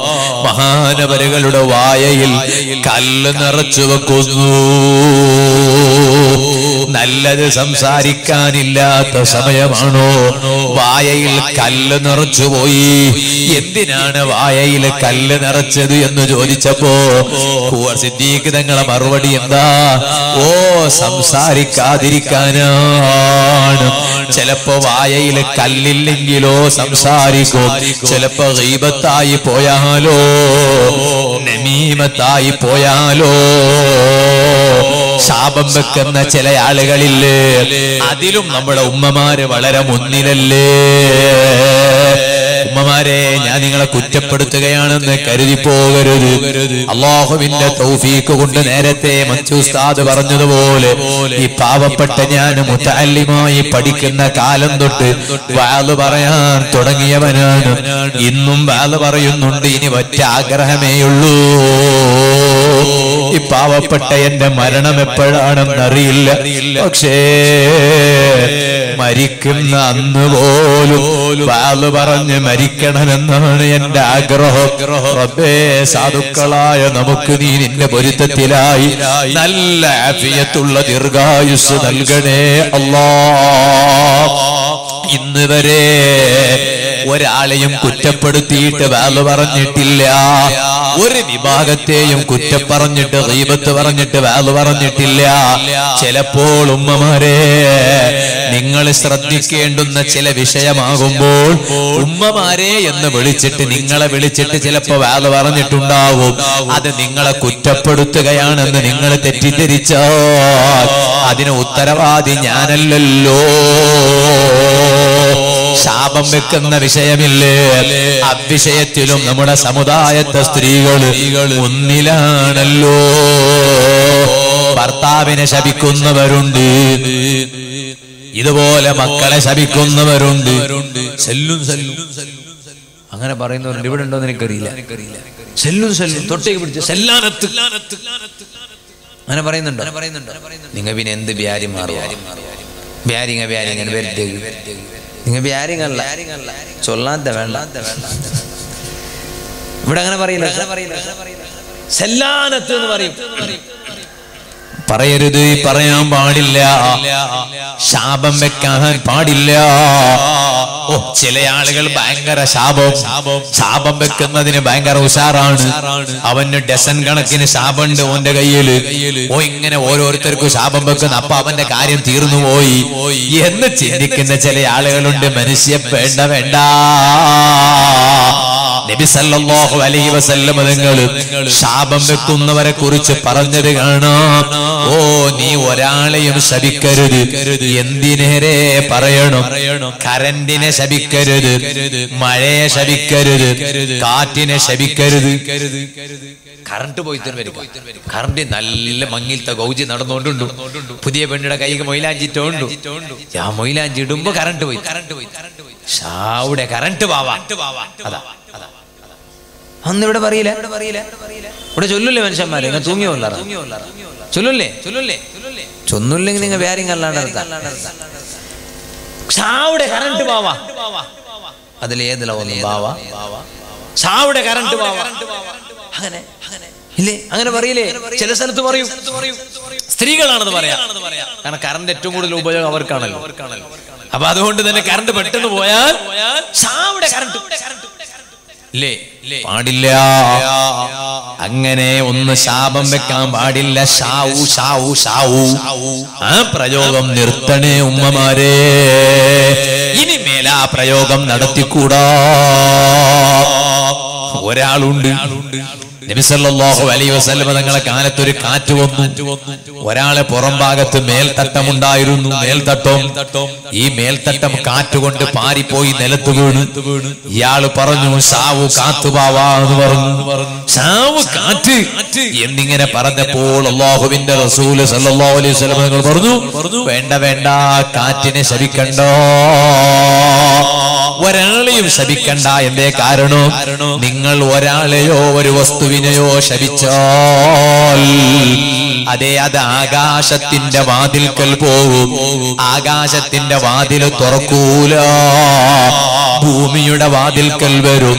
ഭൂമിയുടെ വാതിൽക്കൽ തുറക്കൂല. പിന്നെ ആ ശാപമുണ്ടല്ലോ. അത് നിങ്ങളിലേക്ക് തന്നെ തിരിച്ചടിക്കും കേട്ടോ. അത്രയും വലിയ അപകടമാണ്. അതുകൊണ്ട് ഷാവു ഷാവു ഷാവു എന്ന പ്രയോഗം ഒരു ഉമ്മയും നടത്താൻ പാടില്ല. ഇരിക്കട്ടെ ഞാൻ പറഞ്ഞു വന്നത്. അപ്പൊ ഉസ്താദെ നമ്മൾ ഇനി റീബത്ത് പറഞ്ഞാൽ എന്ത് ചെയ്യണം? റീബത്ത് പറയാത്തവരെന്റെ സദസ്സിലുണ്ടോ? ഇല്ല. ഒരർത്ഥത്തിൽ അല്ലെങ്കിൽ മറ്റൊരർത്ഥത്തിൽ ഒരാളെ അല്ലെങ്കിൽ പിന്നൊരാളെ നമ്മൾ റീബത്ത് പറഞ്ഞിരിക്കും. നന്നായിക്കോ റമദാനിനെ കാത്തിരിക്കേണ്ട പപ്പാ നീ ആരെ കുറ്റം പറഞ്ഞിട്ടുണ്ടോ? അത് നന്നാകാൻ തുടങ്ങാനുള്ള സമയമാണ് റജബ്. അതുകൊണ്ട് എന്ത് ചെയ്യണം? നിങ്ങൾ ആരെയാണോ ഗീബത്ത് പറഞ്ഞിട്ടുള്ളത്? ഉസ്താദേ ഞാൻ ഗീബത്ത് പറഞ്ഞാൽ എന്ത് ചെയ്യണമെന്ന് ചോദിക്കുന്നവർക്ക് ആ പരിഹാരം പറഞ്ഞു തരുന്നത്? ഗീബത്ത് പറഞ്ഞിട്ടുണ്ടോ? നിങ്ങൾ ആരെയാണോ കുറ്റം പറഞ്ഞിട്ടുള്ളത് ഗീബത്ത് പറഞ്ഞിട്ടുള്ളത്? എന്നാൽ അയാൾ അയാൾക്ക് നിങ്ങൾ ഗീബത്ത് പറഞ്ഞ കാര്യം എത്തിയിട്ടില്ല. നിങ്ങൾ ഗീബത്ത് പറഞ്ഞ വിവരം അയാൾക്ക് എത്തിയിട്ടില്ല എങ്കിൽ നിങ്ങൾ അയാൾക്ക് വേണ്ടി അള്ളാഹുവിനോട് മാപ്പ് ചോദിക്കണമെന്ന് പഠിപ്പിച്ചു മാന്മാരായ പണ്ഡിതന്മാർ. അതെങ്ങനെയാണ് ദ്വേ ചെയ്യേണ്ടത്? അള്ളാഹുവേ ഞങ്ങൾക്ക് നീ പുറത്തു തരണേ അല്ലാ വലഹു. നീ ഞാൻ ആരെയാണോ ദൈവത്ത് പറഞ്ഞിട്ടുള്ളത്? അയാൾക്ക് നീ പുറത്തു കൊടുക്കണേ അല്ലാ അങ്ങനെ പറയണം. ഇനി ഒരു പക്ഷേ നിങ്ങൾ ആരെയാണോ ദൈവത്ത് പറഞ്ഞിട്ടുള്ളത്? അയാൾക്ക് വിവരം കിട്ടിയിട്ടുണ്ട് നിങ്ങൾ അയാളെ ദൈവത്ത് പറഞ്ഞിട്ടുണ്ട് എന്ന്. എന്നാൽ നിങ്ങൾ എന്ത് ചെയ്യണം? നിങ്ങൾ അയാളുടെ അരികിൽ പോകണം. നിങ്ങൾ വലിയവനാണെന്ന് നോക്കണ്ട. വലിയവൻ ഇവിടെ ആരുമില്ല. അല്ല മാത്രമേ ഉള്ളൂ. നിങ്ങൾ അയാളുടെ അരികിൽ പോകണം. എന്നിട്ട് അയാളോട് പറയണം. ഞാൻ നിന്നെ കുറിച്ച് ഇങ്ങനെയെല്ലാം പറഞ്ഞിട്ടുണ്ട്. നീ ആഹ്റത്തേക്ക് നീട്ടിവെക്കാൻ പാടില്ല. നീ എനിക്ക് മാപ്പ് ചെയ്യണേ. എന്നയാളോട് പോയി മാപ്പ് ചോദിക്കണം. പണ്ഡിതന്മാര് പറഞ്ഞു ഇനി അയാൾ മരിച്ചിട്ടുണ്ടെങ്കിലോ? നീ ആരെയാണോ ദൈവത്ത് പറഞ്ഞിട്ടുള്ളത്? അയാൾ ജീവിച്ചിരിപ്പുണ്ടെങ്കിലല്ലേ നീ അയാളുടെ അരികിൽ പോയി മാപ്പ് ചോദിക്കേണ്ടത്? അയാൾ മരിച്ചിട്ട് ഖബറിലാണെങ്കിലോ? ഖബറിലാണെങ്കിൽ പണ്ഡിതന്മാർ പറഞ്ഞു നീ അയാൾക്ക് വേണ്ടി അള്ളാഹുവിനോട് പൊറുക്കലിന് ചോദിക്കണം. മാപ്പ് ചോദിക്കണം. ഇതാണ് അതിനുള്ള പ്രതിവിധി. അല്ലാതെ റീബത്ത് പറയാൻ പാടില്ല. പറഞ്ഞിട്ട് എപ്പോഴെങ്കിലും പെട്ടുപോയാൽ അതിനുള്ള പ്രതിവിധി ഇതാണ് എന്ന് മഹാന്മാരായ പണ്ഡിതന്മാര് പഠിപ്പിച്ചിട്ടുണ്ട്. ഇരിക്കട്ടെ ഞാൻ പറഞ്ഞ വിഷയം അതാണ്. ആ രൂപത്തിൽ പരിശുദ്ധ റജബ് ആ റജബ് നഷ്ടപ്പെട്ടത് തെറ്റുകൾ അല്ലാഹുവിന്റെ മുന്നിൽ ഏറ്റുപറഞ്ഞ് മാപ്പ് ചോദിക്കാനുള്ള മാസമാണ്. ഇനി വരാൻ പോകുന്ന ഷാബാനോ ത്വാആത്ത്. ഇബാദത്തുകൾ ധാരാളം വർദ്ധിപ്പിക്കേണ്ട മാസമാണ്. ഇനി അതിനുശേഷം വരാൻ പോകുന്ന റമലാനോ ലിന്ദിലാറിൽ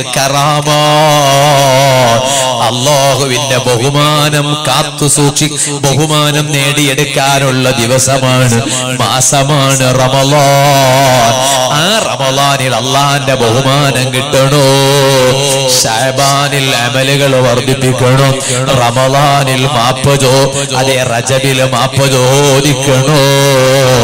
ഈ ഒരു കാര്യം ഈ പാവപ്പെട്ട ഞാൻ എന്റെ സ്വന്തം നഫ്സിനോടും നിങ്ങളോടും ഓർമ്മപ്പെടുത്തി ഞാൻ എന്റെ സംസാരം നിർത്തുന്നു.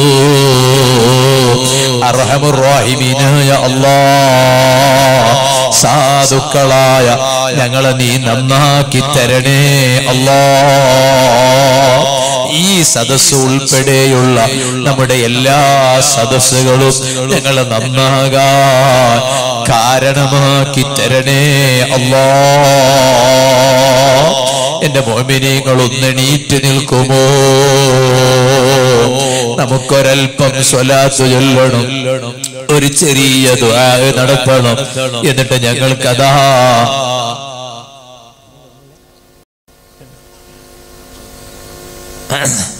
ഞാൻ തങ്ങൾ പതിനൊന്ന് പതിനൊന്ന് മുക്കാലായി അധ്യക്ഷരെ അധ്യക്ഷരെ തങ്ങൾ വന്നാ നോക്കി വെമ്പിളിക്ക്. ഞാൻ പറഞ്ഞു വന്നത് എന്നാ പിന്നെ കുറച്ചിരിക്കും. കുറച്ചിരിക്കും. കുറച്ചിരിക്കും ഭക്ഷണം കഴിച്ച് ഭക്ഷണം കഴിച്ച്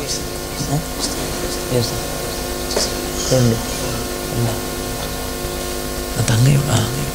ആ അപ്പം അപ്പൊ ഇൻഷാ അല്ലാ ഞാൻ ചുരുക്കിയാണ്. ചുരുക്കിയാണ് അപ്പൊ ഞാൻ പറഞ്ഞു തന്നത് വീണ്ടും അപ്പൊ നമ്മൾ നന്നാകാൻ ഒരുങ്ങണം ഒരുങ്ങണം. ഒരുങ്ങണം. അതിന് ഏറ്റവും നല്ല സമയമാണ്. ഈ സമയം ഞാൻ പറഞ്ഞല്ലോ. പരിശുദ്ധമായ റജബ് മാസം. ആ റജബിന് ശേഷമുള്ള ഷാബാൻ അതിന് ശേഷമുള്ള റാത്തീബ്. ഇവിടെ എല്ലാ മാസവും ഈ ദഫ് റാത്തീബ് നടത്തുന്നു എന്നറിയാൻ സാധിച്ചു. മഹാന്മാരെ മുറുകെ പിടിക്കണം. മഹാന്മാർ നമുക്ക് എപ്പോഴും വലിയ കാവലാണ്. മഹാന്മാരെക്കാൾ വലിയ കാവൽ വേറെയില്ല. ആ മഹാന്മാരാണ് ഏത് പ്രതിരോധ ശേഷിയും നിങ്ങൾ നോക്ക് വാക്സിൻ കൊടുക്കണമെന്ന് പറഞ്ഞു. ഒന്ന് കൊടുത്തു ഒരു ഡോസ് കൊടുത്തു. രണ്ടാമത്തെ ഡോസ് കൊടുത്തു. ഇപ്പൊ മൂന്നാമത്തെ ബൂസ്റ്റർ കൊടുക്കണമെന്ന് പറയാണ്. ആദ്യത്തത് രണ്ട് കൊടുത്തിട്ട് തന്നെ വയ്യാതെയായതിന് കണക്കില്ല. ഇനി മൂന്നാമത്തതും കൂടി കൊടുത്താൽ എന്തായിരിക്കും അവസ്ഥ എന്നാണ് പലരും ചോദിക്കുന്നത്. എനിക്ക് ആ അഭിപ്രായം ഉണ്ടെന്നല്ലോ ഞാൻ പറഞ്ഞത്. പലരും അങ്ങനെ ചോദിക്കുകയാണ്. എന്നാൽ മനുഷ്യന്റെ ആത്മീയതക്ക് ഏറ്റവും അതേ മങ്ങലേൽക്കുന്നതിന് ഏറ്റവും വലിയ പ്രതിര പ്രതിരോധ ശേഷി മഹാന്മാരെ മുറുകെ പിടിക്കലാണ് കേട്ടോ. ആ മഹാന്മാരിൽപ്പെട്ട മഹാനാണ് സുൽത്താനുൽ അഹ്മദുൽ കബീർ ഞങ്ങൾ ഇതുവരെ കാത്തിരുന്ന ബഹുമാനപ്പെട്ട തങ്ങളവരുകൾ നമ്മുടെ വേദിയിൽ വരുന്നു അള്ളാഹു താല തങ്ങളവരുകൾക്കും നമുക്കെല്ലാം അള്ളാഹു നല്ല ആഫിയത്ത് വർദ്ധിപ്പിച്ചു തരട്ടെ അള്ളാഹു അക്ബർ അള്ളാഹു അക്ബർ അള്ളാഹു അക്ബർ വലില്ലാ വലില്ലാഹിൽ ഹംദ് ഞാൻ നിർത്താണ് ആ മഹാന്മാരിൽ മഹാനാണ് അഹമ്മദുൽ അൻഹു. റജബ് മാസം നിസ്കാരത്തിന്റെ വാർഷികമാണ്. റജബ് നിസ്കാരം സമ്മാനമായി കിട്ടിയ മാസമാണ്. ഹബീബായ നബി സല്ലല്ലാഹു അലൈഹി വസല്ലം തങ്ങളുടെ ചരിത്ര പ്രസിദ്ധമായ ഇസ്രായ യാത്ര നടന്നത് റജബിലാണ്. ഇങ്ങനെ ഒരുപാട് വിശേഷണങ്ങളുണ്ട്. ഞാനിപ്പോ ഇന്നത്തെ വാലിലെ മിഅ്റാജിനെ കുറിച്ചൊന്നും പറഞ്ഞില്ല. ഇൻഷാല്ല നാളെയല്ല മറ്റന്നാൾ. നമ്മുടെ മൂടബിദ്ര ദർസിൽ വെച്ചിട്ടാണ് പ്രഭാഷണമുള്ളത്. ഇൻഷാല്ല അവിടെ വെച്ച് ഞാനത് പറയും. ഓൺലൈനിന്റെ സംവിധാനമുണ്ട്. നിങ്ങൾ എല്ലാവരും ഒന്ന് കേൾക്കണേ. അതോടൊപ്പം റജബ് മാസം ഹാജാ തങ്ങളെ മാസമാണ്. റജബ് ആറിനല്ലേ സുൽത്താനുൽ ഹിന്ദ് ഗരീബ് നവാസ് ഖാജാ മുഈനുദ്ദീൻ. ഇസ്തീൽ അജ്മീരി ഖദ്ദസല്ലാഹു സിറഹുൽ അസീസ്. മഹാനവരുകൾ വഫാത്താകുന്നത് എങ്ങനെയാണ്? ആ മഹാന്മാര് ചില്ലരക്കാരല്ല അതേ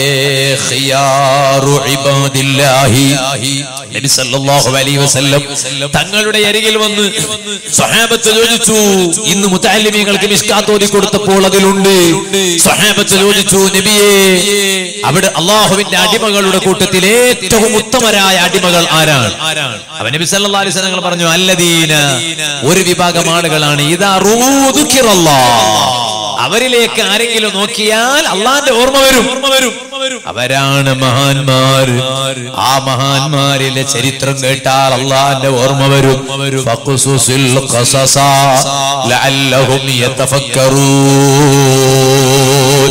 ചരിത്രം പറഞ്ഞു കൊടുക്കൂ നബിയെ. എന്തിനാണ് ചരിത്രം പറയാനുള്ളത്? ചരിത്രം പറയണം ചരിത്രം പറയണം പറയും. എന്തിനാ ചരിത്രം പറയുന്നത്? ചരിത്രം കേട്ട് രസിക്കാനല്ല ചിന്തിക്കാനാ. മഹാന്മാരുടെ ചരിത്രം ചിന്തിക്കാനാ. അത് കേട്ടിട്ട് അതിന്റെ അഭിപ്രായം പറയാനല്ലോ. ഖാജാ തങ്ങൾ വഫാത്താകാൻ കിടക്കാണ്. അതേ ഇഷ കഴിഞ്ഞ് റൂമിൽ കയറി.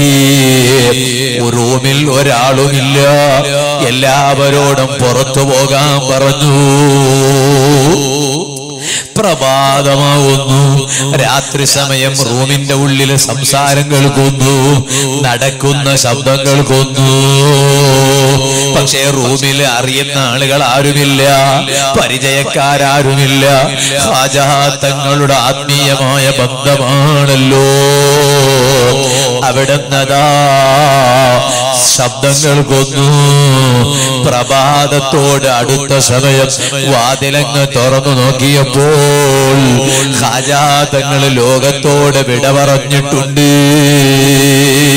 അതേ ഹാജാതങ്ങളെ നെറ്റിത്തടത്ത് ഹാജാതങ്ങളെ മനാക്കിബ് പറഞ്ഞ കൂട്ടത്തിൽ കാണാം. ആ മഹാനരുടെ നെറ്റിത്തടത്ത് എഴുതി വെച്ചത് കാണാം.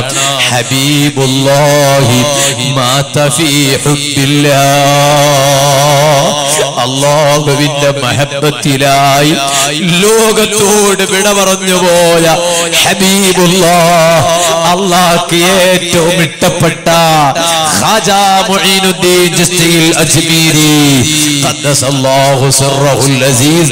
അതുപോലെയുള്ള മഹാന്മാരെ മുറുകെ പിടിച്ചോ.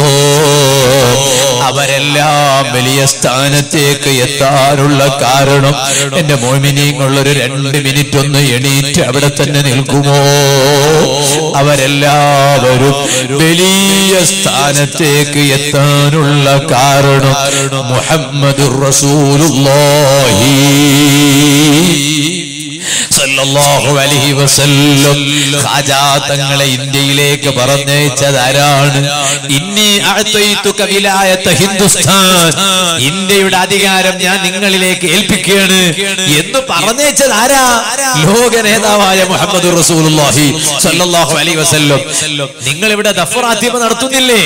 ആ റാത്തീപ നടത്തുന്നത് റിഫായി ശേഖ് തങ്ങളെ പേരിലല്ലേ? ആ മഹാനവരികളെ സുൽത്താനുൽ ആരിഫീൻ എന്ന് വിളിച്ചത് ആരാണ്? ലോക നേതാവായ മുഹമ്മദ് ഒരൊറ്റ വിഷയം പറഞ്ഞു ഇന്നത്തെ വാദ നിർത്താണ് മെഹറാജ് യാത്ര പോയില്ലേ? സമ്മാനം കിട്ടിയില്ലേ? നിസ്കാരം സമ്മാനം കിട്ടിയില്ലേ? അമ്പത് വക്കത്തല്ലേ സമ്മാനം കിട്ടിയത്? പക്ഷേ തിരിച്ചു വരുമ്പോൾ മൂസാ നബി അലൈഹിസ്സലാമിനെ കണ്ടുമുട്ടിയില്ലേ? എന്താണ് സമ്മാനം കിട്ടിയതെന്ന് ചോദിച്ചില്ലേ? അമ്പത് നേരം നിസ്കാരമാണെന്ന് പറഞ്ഞില്ലേ? പറ്റൂല രബിയേ ഒന്ന് ചുരുക്കി തരാൻ വേണ്ടി പറയണം. ഞാൻ എന്റെ ഉമ്മത്തിന് അനുഭവിച്ചതാണെന്ന് പറഞ്ഞില്ലേ? തിരിച്ചു പോയില്ലേ? അഞ്ച് ചുരുക്കിയില്ലേ? വീണ്ടും പറഞ്ഞയച്ചില്ലേ? വീണ്ടും അഞ്ച് ചുരുക്കിയില്ലേ? അവസാനം അഞ്ചങ്ങ് കിട്ടിയില്ലേ? പിന്നെയും മടങ്ങിപ്പോകാൻ പറഞ്ഞപ്പോ ഇനി എനിക്ക് പോകാൻ വയ്യ. എനിക്ക് വല്ലാത്ത ലജ്ജയാണ് എന്ന് പറഞ്ഞില്ലേ? ഈ ഒരൊറ്റ സംഭവം മുന്നിൽ വെച്ചുകൊണ്ട് ബഹുമാനപ്പെട്ട ഇമാം ബാജൂരി റഹ്മത്തുള്ളാഹി അലൈഹി ജൗഹറത്തു തൗഹീദ് എന്ന അത്തയുടെ ഗ്രന്ഥമുണ്ട് വിശ്വാസ ശാസ്ത്രത്തിന്റെ ഗ്രന്ഥമുണ്ട്. അതിന് ബാജൂരി ഇമാം എഴുതിയ ഒരു വ്യാഖ്യാന കിതാബുണ്ട്. അതിന്റെ പേരാണ് ആശിയത്തുൽ ബാജൂരി. ചെറിയ കിതാബാണ് പക്ഷേ വലിയ വണ്ണമുള്ള കിതാബാണ്. കാണാൻ ചെറിയ വലിപ്പമുള്ള കിതാബാണെങ്കിലും ഭയങ്കര ആശയമുള്ള കിതാബാണ്. അക്കിതാബിൽ മഹാനവരുകൾ പറഞ്ഞു ഇവിടെ രണ്ട് കാരണങ്ങളുണ്ട്. മൂസാ നബി അലൈസലാം അബീബായ തങ്ങൾ വീണ്ടും വീണ്ടും അള്ളാഹുവിലേക്ക് മടക്കി പറഞ്ഞയച്ചില്ലേ? ഇതിന് രണ്ട് കാരണങ്ങളുണ്ട്. ഒന്ന് പ്രത്യക്ഷത്തിൽ ഒരു കാരണമുണ്ട്. അത് നിസ്കാരത്തിന്റെ സമയം ചുരുക്കി കിട്ടാനാണ്. എന്നാൽ ഇതിന്റെ ഉള്ളിൽ വേറെയൊരു കാരണമുണ്ട് സർവമഹാന്മാരും ആ കാരണമല്ലേ ഉയർത്തിപ്പിടിച്ചത്? എല്ലാവർക്കും പറയാനുള്ളത് അതല്ലേ മൂസാ നബി അലൈഹിസ്സലാം വീണ്ടും വീണ്ടും ഹബീബായ തങ്ങളെ അള്ളാഹുവിലേക്ക് പറഞ്ഞയക്കുന്നത് എന്താ എന്തിനാണ്? ആ പോയി വരുമ്പോഴൊക്കെ ഹബീബായ തങ്ങളെ മുഖം കാണാമല്ലോ. തങ്ങളെ മുഖത്തേക്ക് നോക്കിയിട്ട്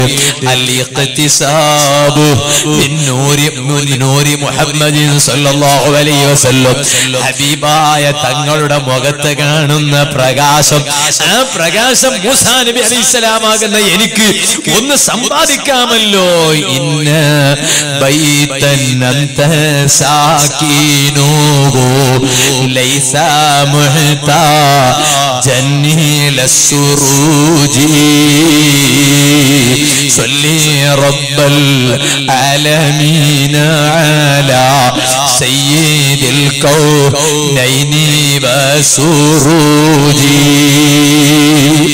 ഒരു വീട്ടിൽ ഹബീബായ തങ്ങളുണ്ടെങ്കിൽ അവിടെ വെളിച്ചം ആവശ്യമില്ല.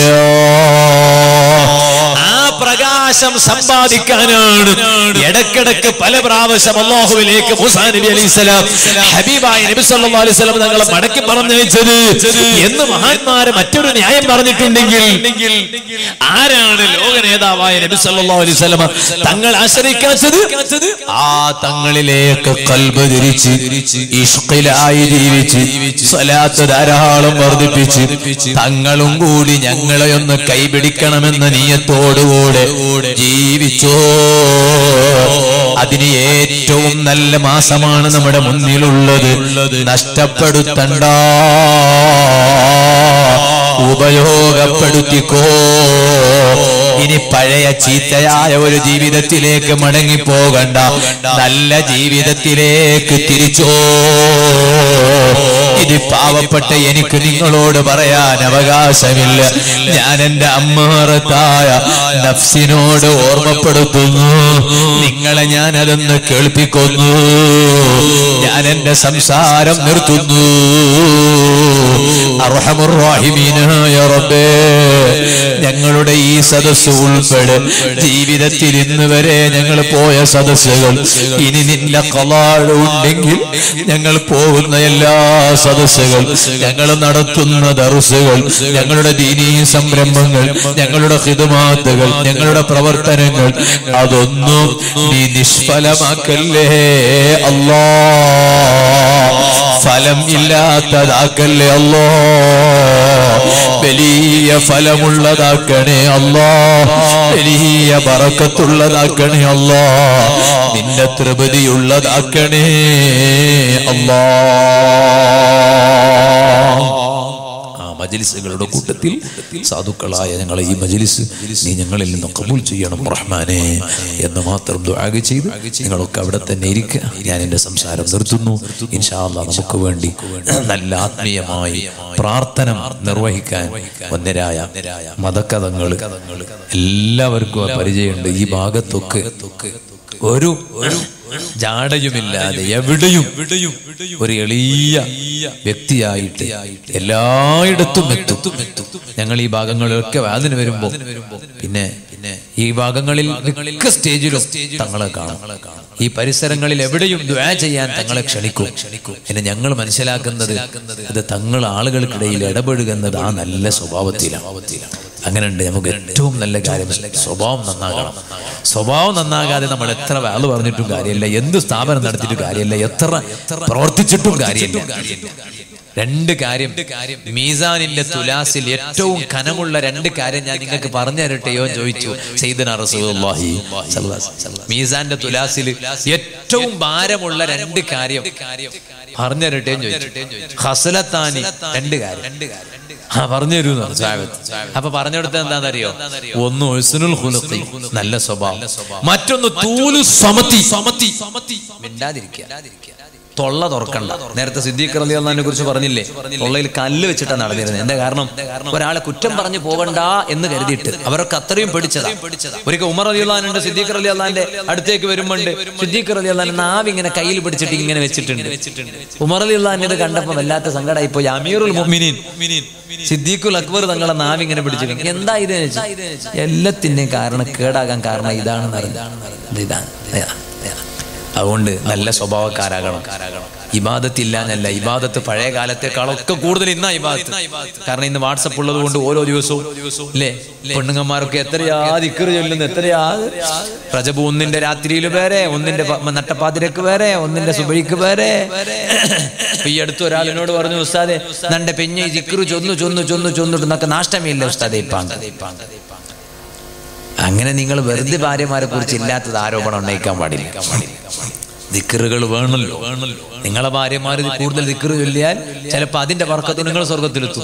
എന്ന് കരുതിയിട്ട് ഉമ്മമാരെ നിങ്ങളെ ഭർത്താക്കന്മാര് ദിക്കറ് ചൊല്ലുന്ന പേരും പറഞ്ഞിട്ട് നിങ്ങളെ ഭർത്താക്കന്മാരെ പട്ടിണിയാക്കാൻ പറ്റോ ആൻ പറ്റൂല. ദിക്കറ് ചൊല്ലേണ്ട സമയത്ത് ദിക്കറ് ചൊല്ലണം. പിന്നെ വാൽ കേൾക്കേണ്ട സമയത്ത് വാൽ കേൾക്കണം. ഭർത്താക്കന്മാരുടെ കാര്യം ശ്രദ്ധിക്കേണ്ട സമയത്ത് ഭർത്താക്കന്മാരുടെ കാര്യം ഞാൻ നേരത്തെ പറഞ്ഞല്ലോ ഓരോന്നിനും ഓരോ സമയമുണ്ട്. വേദന്റെ ഇടയ്ക്ക് ഞാൻ പറഞ്ഞത് അതൊക്കെ. അതുകൊണ്ട് ഞാനിപ്പോ അതിലേക്കൊന്നും കിടക്കണില്ല. അപ്പൊ കൂടുതൽ മിണ്ടാതിരിക്കുക. കുറച്ച് മാത്രം സംസാരിക്കുക. ആ സംസാരിക്കുന്നത് ഒന്നിരിക്കലോ ഖുർആൻ ഓത്തായിരിക്കണം. അല്ലെങ്കിൽ ദിക്കറായിരിക്കണം. അല്ലെങ്കിൽ സ്വലാത്ത് തസ്ബി അല്ലെങ്കിൽ നല്ല വർത്താനം ദീനിന് വേണ്ടി ആ പള്ളിന്റെ ചർച്ചയോ അല്ലെങ്കിൽ വേറെ എന്തെങ്കിലും പദ്ധതി ഉണ്ടോ ദീനിയായ കാര്യങ്ങൾ. അല്ലാതെ ഞാൻ നേരത്തെ പറഞ്ഞല്ലോ ഞങ്ങൾക്ക് വലിയ ആവേശ. എവിടെയെങ്കിലും ഒരു മജ്ലിസ് കാണുമ്പോൾ ഭയങ്കര ആവേശം.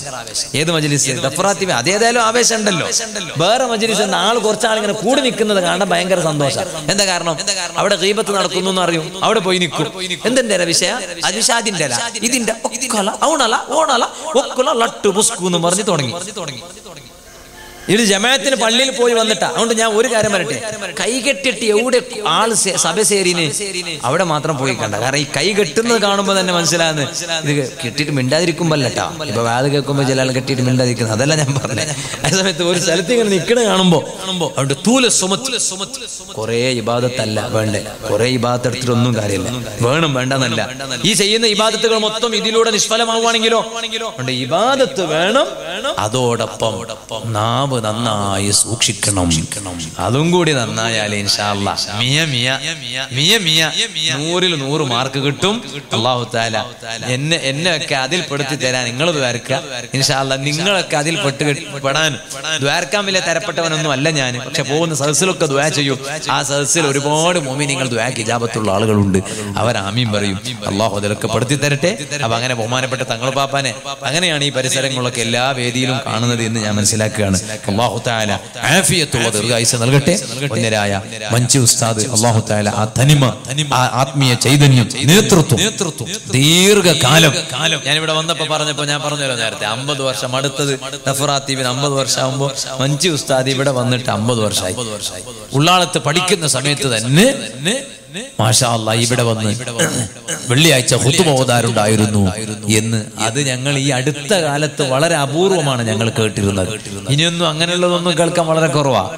പക്ഷെ അപൂർവം അള്ളാഹു താല ഉസ്താദ് അവരുകൾക്ക് ഹിമ്മത്തും ഇസ്സത്തും ഒരുപാട് നല്ലതിനുള്ള തൗഫീഖും അതുപോലെ നമുക്കും അള്ളാഹു വർദ്ധിപ്പിച്ചു തരട്ടെ എന്ന് ദ്വാഗ് ചെയ്യുന്നു.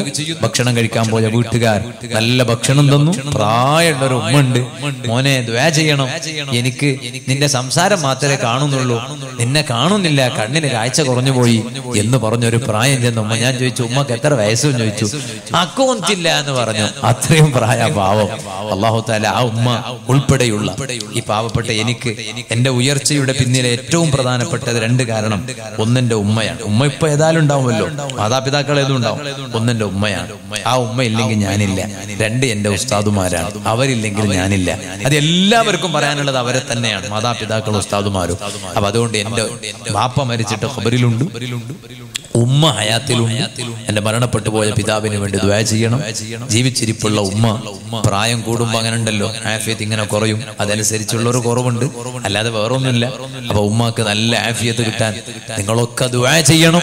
പോകുന്ന സദസ്സുകളിലൊക്കെ നിങ്ങളും നിങ്ങൾക്ക് വേണ്ടി ഞാനും ദ്വയ ചെയ്യും എന്ന് ഓർമ്മപ്പെടുത്തി നമ്മുടെ ഈ പരിപാടി ഫസൽ മീഡിയയിലൂടെയും നൗഫൽ സഖാഫി കളസ എന്ന ഒഫീഷ്യൽ പേജിലൂടെയും ലൈവായി ഒരുപാട് പേര് കണ്ടുകൊണ്ടിരിക്കുന്നു. അതിലൂടെ ഒരുപാട് ദ്വാ കൊണ്ടുള്ള കമന്റുകൾ പിന്നെ എഴുതി വിടുന്നുണ്ട്. അവർക്കൊക്കെ ഇവിടുന്ന് ദ്വാ ചെയ്യും. അള്ളാഹുത്താൽ അവർക്കൊക്കെ ബർക്കത്ത് ചെയ്യട്ടെ പൊന്നരായ കോട്ടൂർ ഉസ്താദ് എന്ന വലിയ മഹാനുണ്ട്. ഇന്ന് ജീവിച്ചിരിപ്പുള്ള ധാരാളം പണ്ഡിതന്മാരെ തലയെടുപ്പുള്ള പണ്ഡിതന്മാരെ വാർത്തെടുത്ത വലിയ മഹാനാണ് ഷെയ്ഖുന കോട്ടൂർ ഉസ്താദ്. കോട്ടൂർ ഉസ്താദിന്റെ മഹത്വം മനസ്സിലാക്കണമെങ്കിൽ ഒന്ന് മനസ്സിലാക്കിയാൽ മതി. കോട്ടൂർ ഉസ്താദിന്റെ ശിഷ്യന്മാരിൽ ഒരു ശിഷ്യനാണ്. പ്രധാനപ്പെട്ട ഒരു ശിഷ്യനാണ് അഭിവന്യരായ ഗുരുവര്യർ പൊന്മള ഉസ്താദ്. അള്ളാഹു ആ കരങ്ങൾക്ക് ശക്തി പകർന്നു കൊടുക്കട്ടെ. പൊന്മള ഉസ്താദിന്റെ ഉസ്താദാണ് കോട്ടൂർ ഉസ്താദ്. പൊന്മള ഉസ്താദ് എന്ന് പറഞ്ഞാൽ മുത്താലിമീങ്ങൾക്ക് മാത്രം ദർസ് ചൊല്ലിക്കൊടുക്കുന്ന ഉസ്താദല്ല. ഞങ്ങൾ ജാമ്യ ഇക്കമിയയിൽ പഠിക്കുന്ന അന്ന് മുതൽക്ക് തന്നെ കാണാം. മലപ്പുറം കോട്ടപ്പടി പള്ളിയുണ്ട് ടൗൺ സുന്നി മസ്ജിദ്. ആ മസ്ജിദിൽ എന്നും ഞങ്ങൾ ആ ക്ലാസ്സിൽ പോകാറുണ്ടായിരുന്നു. ഇക്കമിയിൽ പഠിക്കുന്ന സമയത്ത്. എന്നും സുബൈ നിസ്കാരത്തിന് ശേഷം കുറച്ചു നേരം കഴിഞ്ഞാൽ അവിടെ ഫത്തുഹുൽ മൊയ്യീന് ക്ലാസ് നടക്കുകയാണ്. ഫത്തുഹുൽ മൊയ്യീന് ക്ലാസ്. ഉസ്താദിന്റെ പൊന്മോൾ ഉസ്താദിന്റെ ക്ലാസ് ഈ ക്ലാസ് കേൾക്കാൻ വേണ്ടി വരുന്നത് ആരാന്നറിയോ? നൂറ് ഇരുന്നൂറോളം വരുന്ന മുത്താലിമീങ്ങൾക്ക് കിതാബ് ഓതി കൊടുക്കുന്ന വലിയ വലിയ മുദരിസുമാരാണ്. അപ്പള്ളിയിൽ എന്നും വെള്ളിയാഴ്ച സുബൈക്ക് ശേഷം ഒന്നരായ ഉസ്താദ് ഓതി കൊടുക്കുന്ന ഫത്തുഹുൽ മൊയ്യീന് ക്ലാസ് കേൾക്കാൻ ഒന്നിൽ വന്ന് കുത്തിരിക്കുന്നത് ആ ഉസ്താദിന്റെ ഉസ്താദാണ് ബഹുമാനപ്പെട്ട ശൈഖുന കോട്ടൂർ ഉസ്താദ് എങ്കിൽ കോട്ടൂർ ഉസ്താദിന്റെ പാണ്ഡിത്യം എത്രയായിരിക്കും എന്ന് നിങ്ങൾ ഊഹിച്ചാൽ മതി. ഇപ്പൊ കൂടുതലൊന്നും പറയില്ല. ആ കോട്ടൂർ ഉസ്താദിന്റെ നേതൃത്വത്തിൽ നടന്നുകൊണ്ടിരിക്കുന്ന മഹത്തായ ദർസ് അവരൊക്കെ ദർസിനോട് വലിയ ബഹുമാനം കണ്ടവരാ. താജുലുലമ തങ്ങൾ പാപ്പ ദർസിനോട് വലിയ ബഹുമാനം കണ്ടു. എന്റെ ഉസ്താദ് മുൻമൾ ഉസ്താദിന് ദർസിന് വലിയ ബഹുമാനം. കോട്ടൂർ ഉസ്താദിനും അങ്ങനെയാണ്. അവരൊക്കെ ദർസിന്റെ പിന്നാലെ കൂടിയവരാ. ആ കോട്ടൂർ ഉസ്താദ് എന്നോട് മുൻമൾ ഉസ്താദ് എപ്പോഴും പറയും വാൽ വാൽ ഇങ്ങനെ ഫൗക്കലും ദർസ് തഹത്തിലും ആയിക്കൂടാ. എന്നെ എപ്പോഴും ഉപദേശിക്കുന്നത്. അത് ഞാൻ ഇന്നുവരെ കാത്തു സൂക്ഷിച്ചിട്ടുണ്ട്. ഇനിയും കാത്തു സൂക്ഷിച്ച് നിങ്ങൾ ദ്വാരിക്കണം. എന്ന് പറഞ്ഞാൽ എന്താ? വയൽ മുകളിലോട്ടായിട്ട് ദർസ് അടിയിലാകണ ഒരു സ്വഭാവം വരാൻ പാടില്ല. ദർസ് എപ്പോഴും മുകളിൽ വേണം. വയൽ രണ്ടാം സ്ഥാനത്ത് വേണം എന്ന്. കാരണം അവരൊക്കെ ദർസിന് പ്രാമുഖ്യം കൽപ്പിച്ചവരാ. ആ കോട്ടൂർ ഉസ്താദ് ഉസ്താദ് നേതൃത്വം നൽകുന്ന മഹത്തായ ദർസിന്റെ അറുപതാം വാർഷിക മഹാസമ്മേളനം ഇതേ വരുന്ന മാർച്ച് നാല് അഞ്ച് ആറ് തീയതികളിൽ പിന്നെ കോട്ടക്കൽ മലപ്പുറം ജില്ലയിലെ കോട്ടക്കല്ലിൽ വെച്ച് നടക്കുകയാണ്. നിങ്ങളൊക്കെ ആ പരിപാടി വിജയിപ്പിക്കണം. നിങ്ങളെ കൊണ്ട് കഴിയുന്ന രൂപത്തിൽ സഹായിക്കണം സഹകരിക്കണം അതിന്റെ പ്രചാരകരാകണം എന്ന് ബന്ധപ്പെട്ടവരെ ഏൽപ്പിച്ചതിന്റെ അടിസ്ഥാനത്തിൽ പറഞ്ഞു. അള്ളാഹു താല നമ്മുടെ എല്ലാ സംരംഭങ്ങളും കബൂൽ ചെയ്യട്ടെ. ദുആ വസിയ്യത്തോടെ വആഖിറു ദഅവാന അൽഹംദുലില്ലാഹി റബ്ബിൽ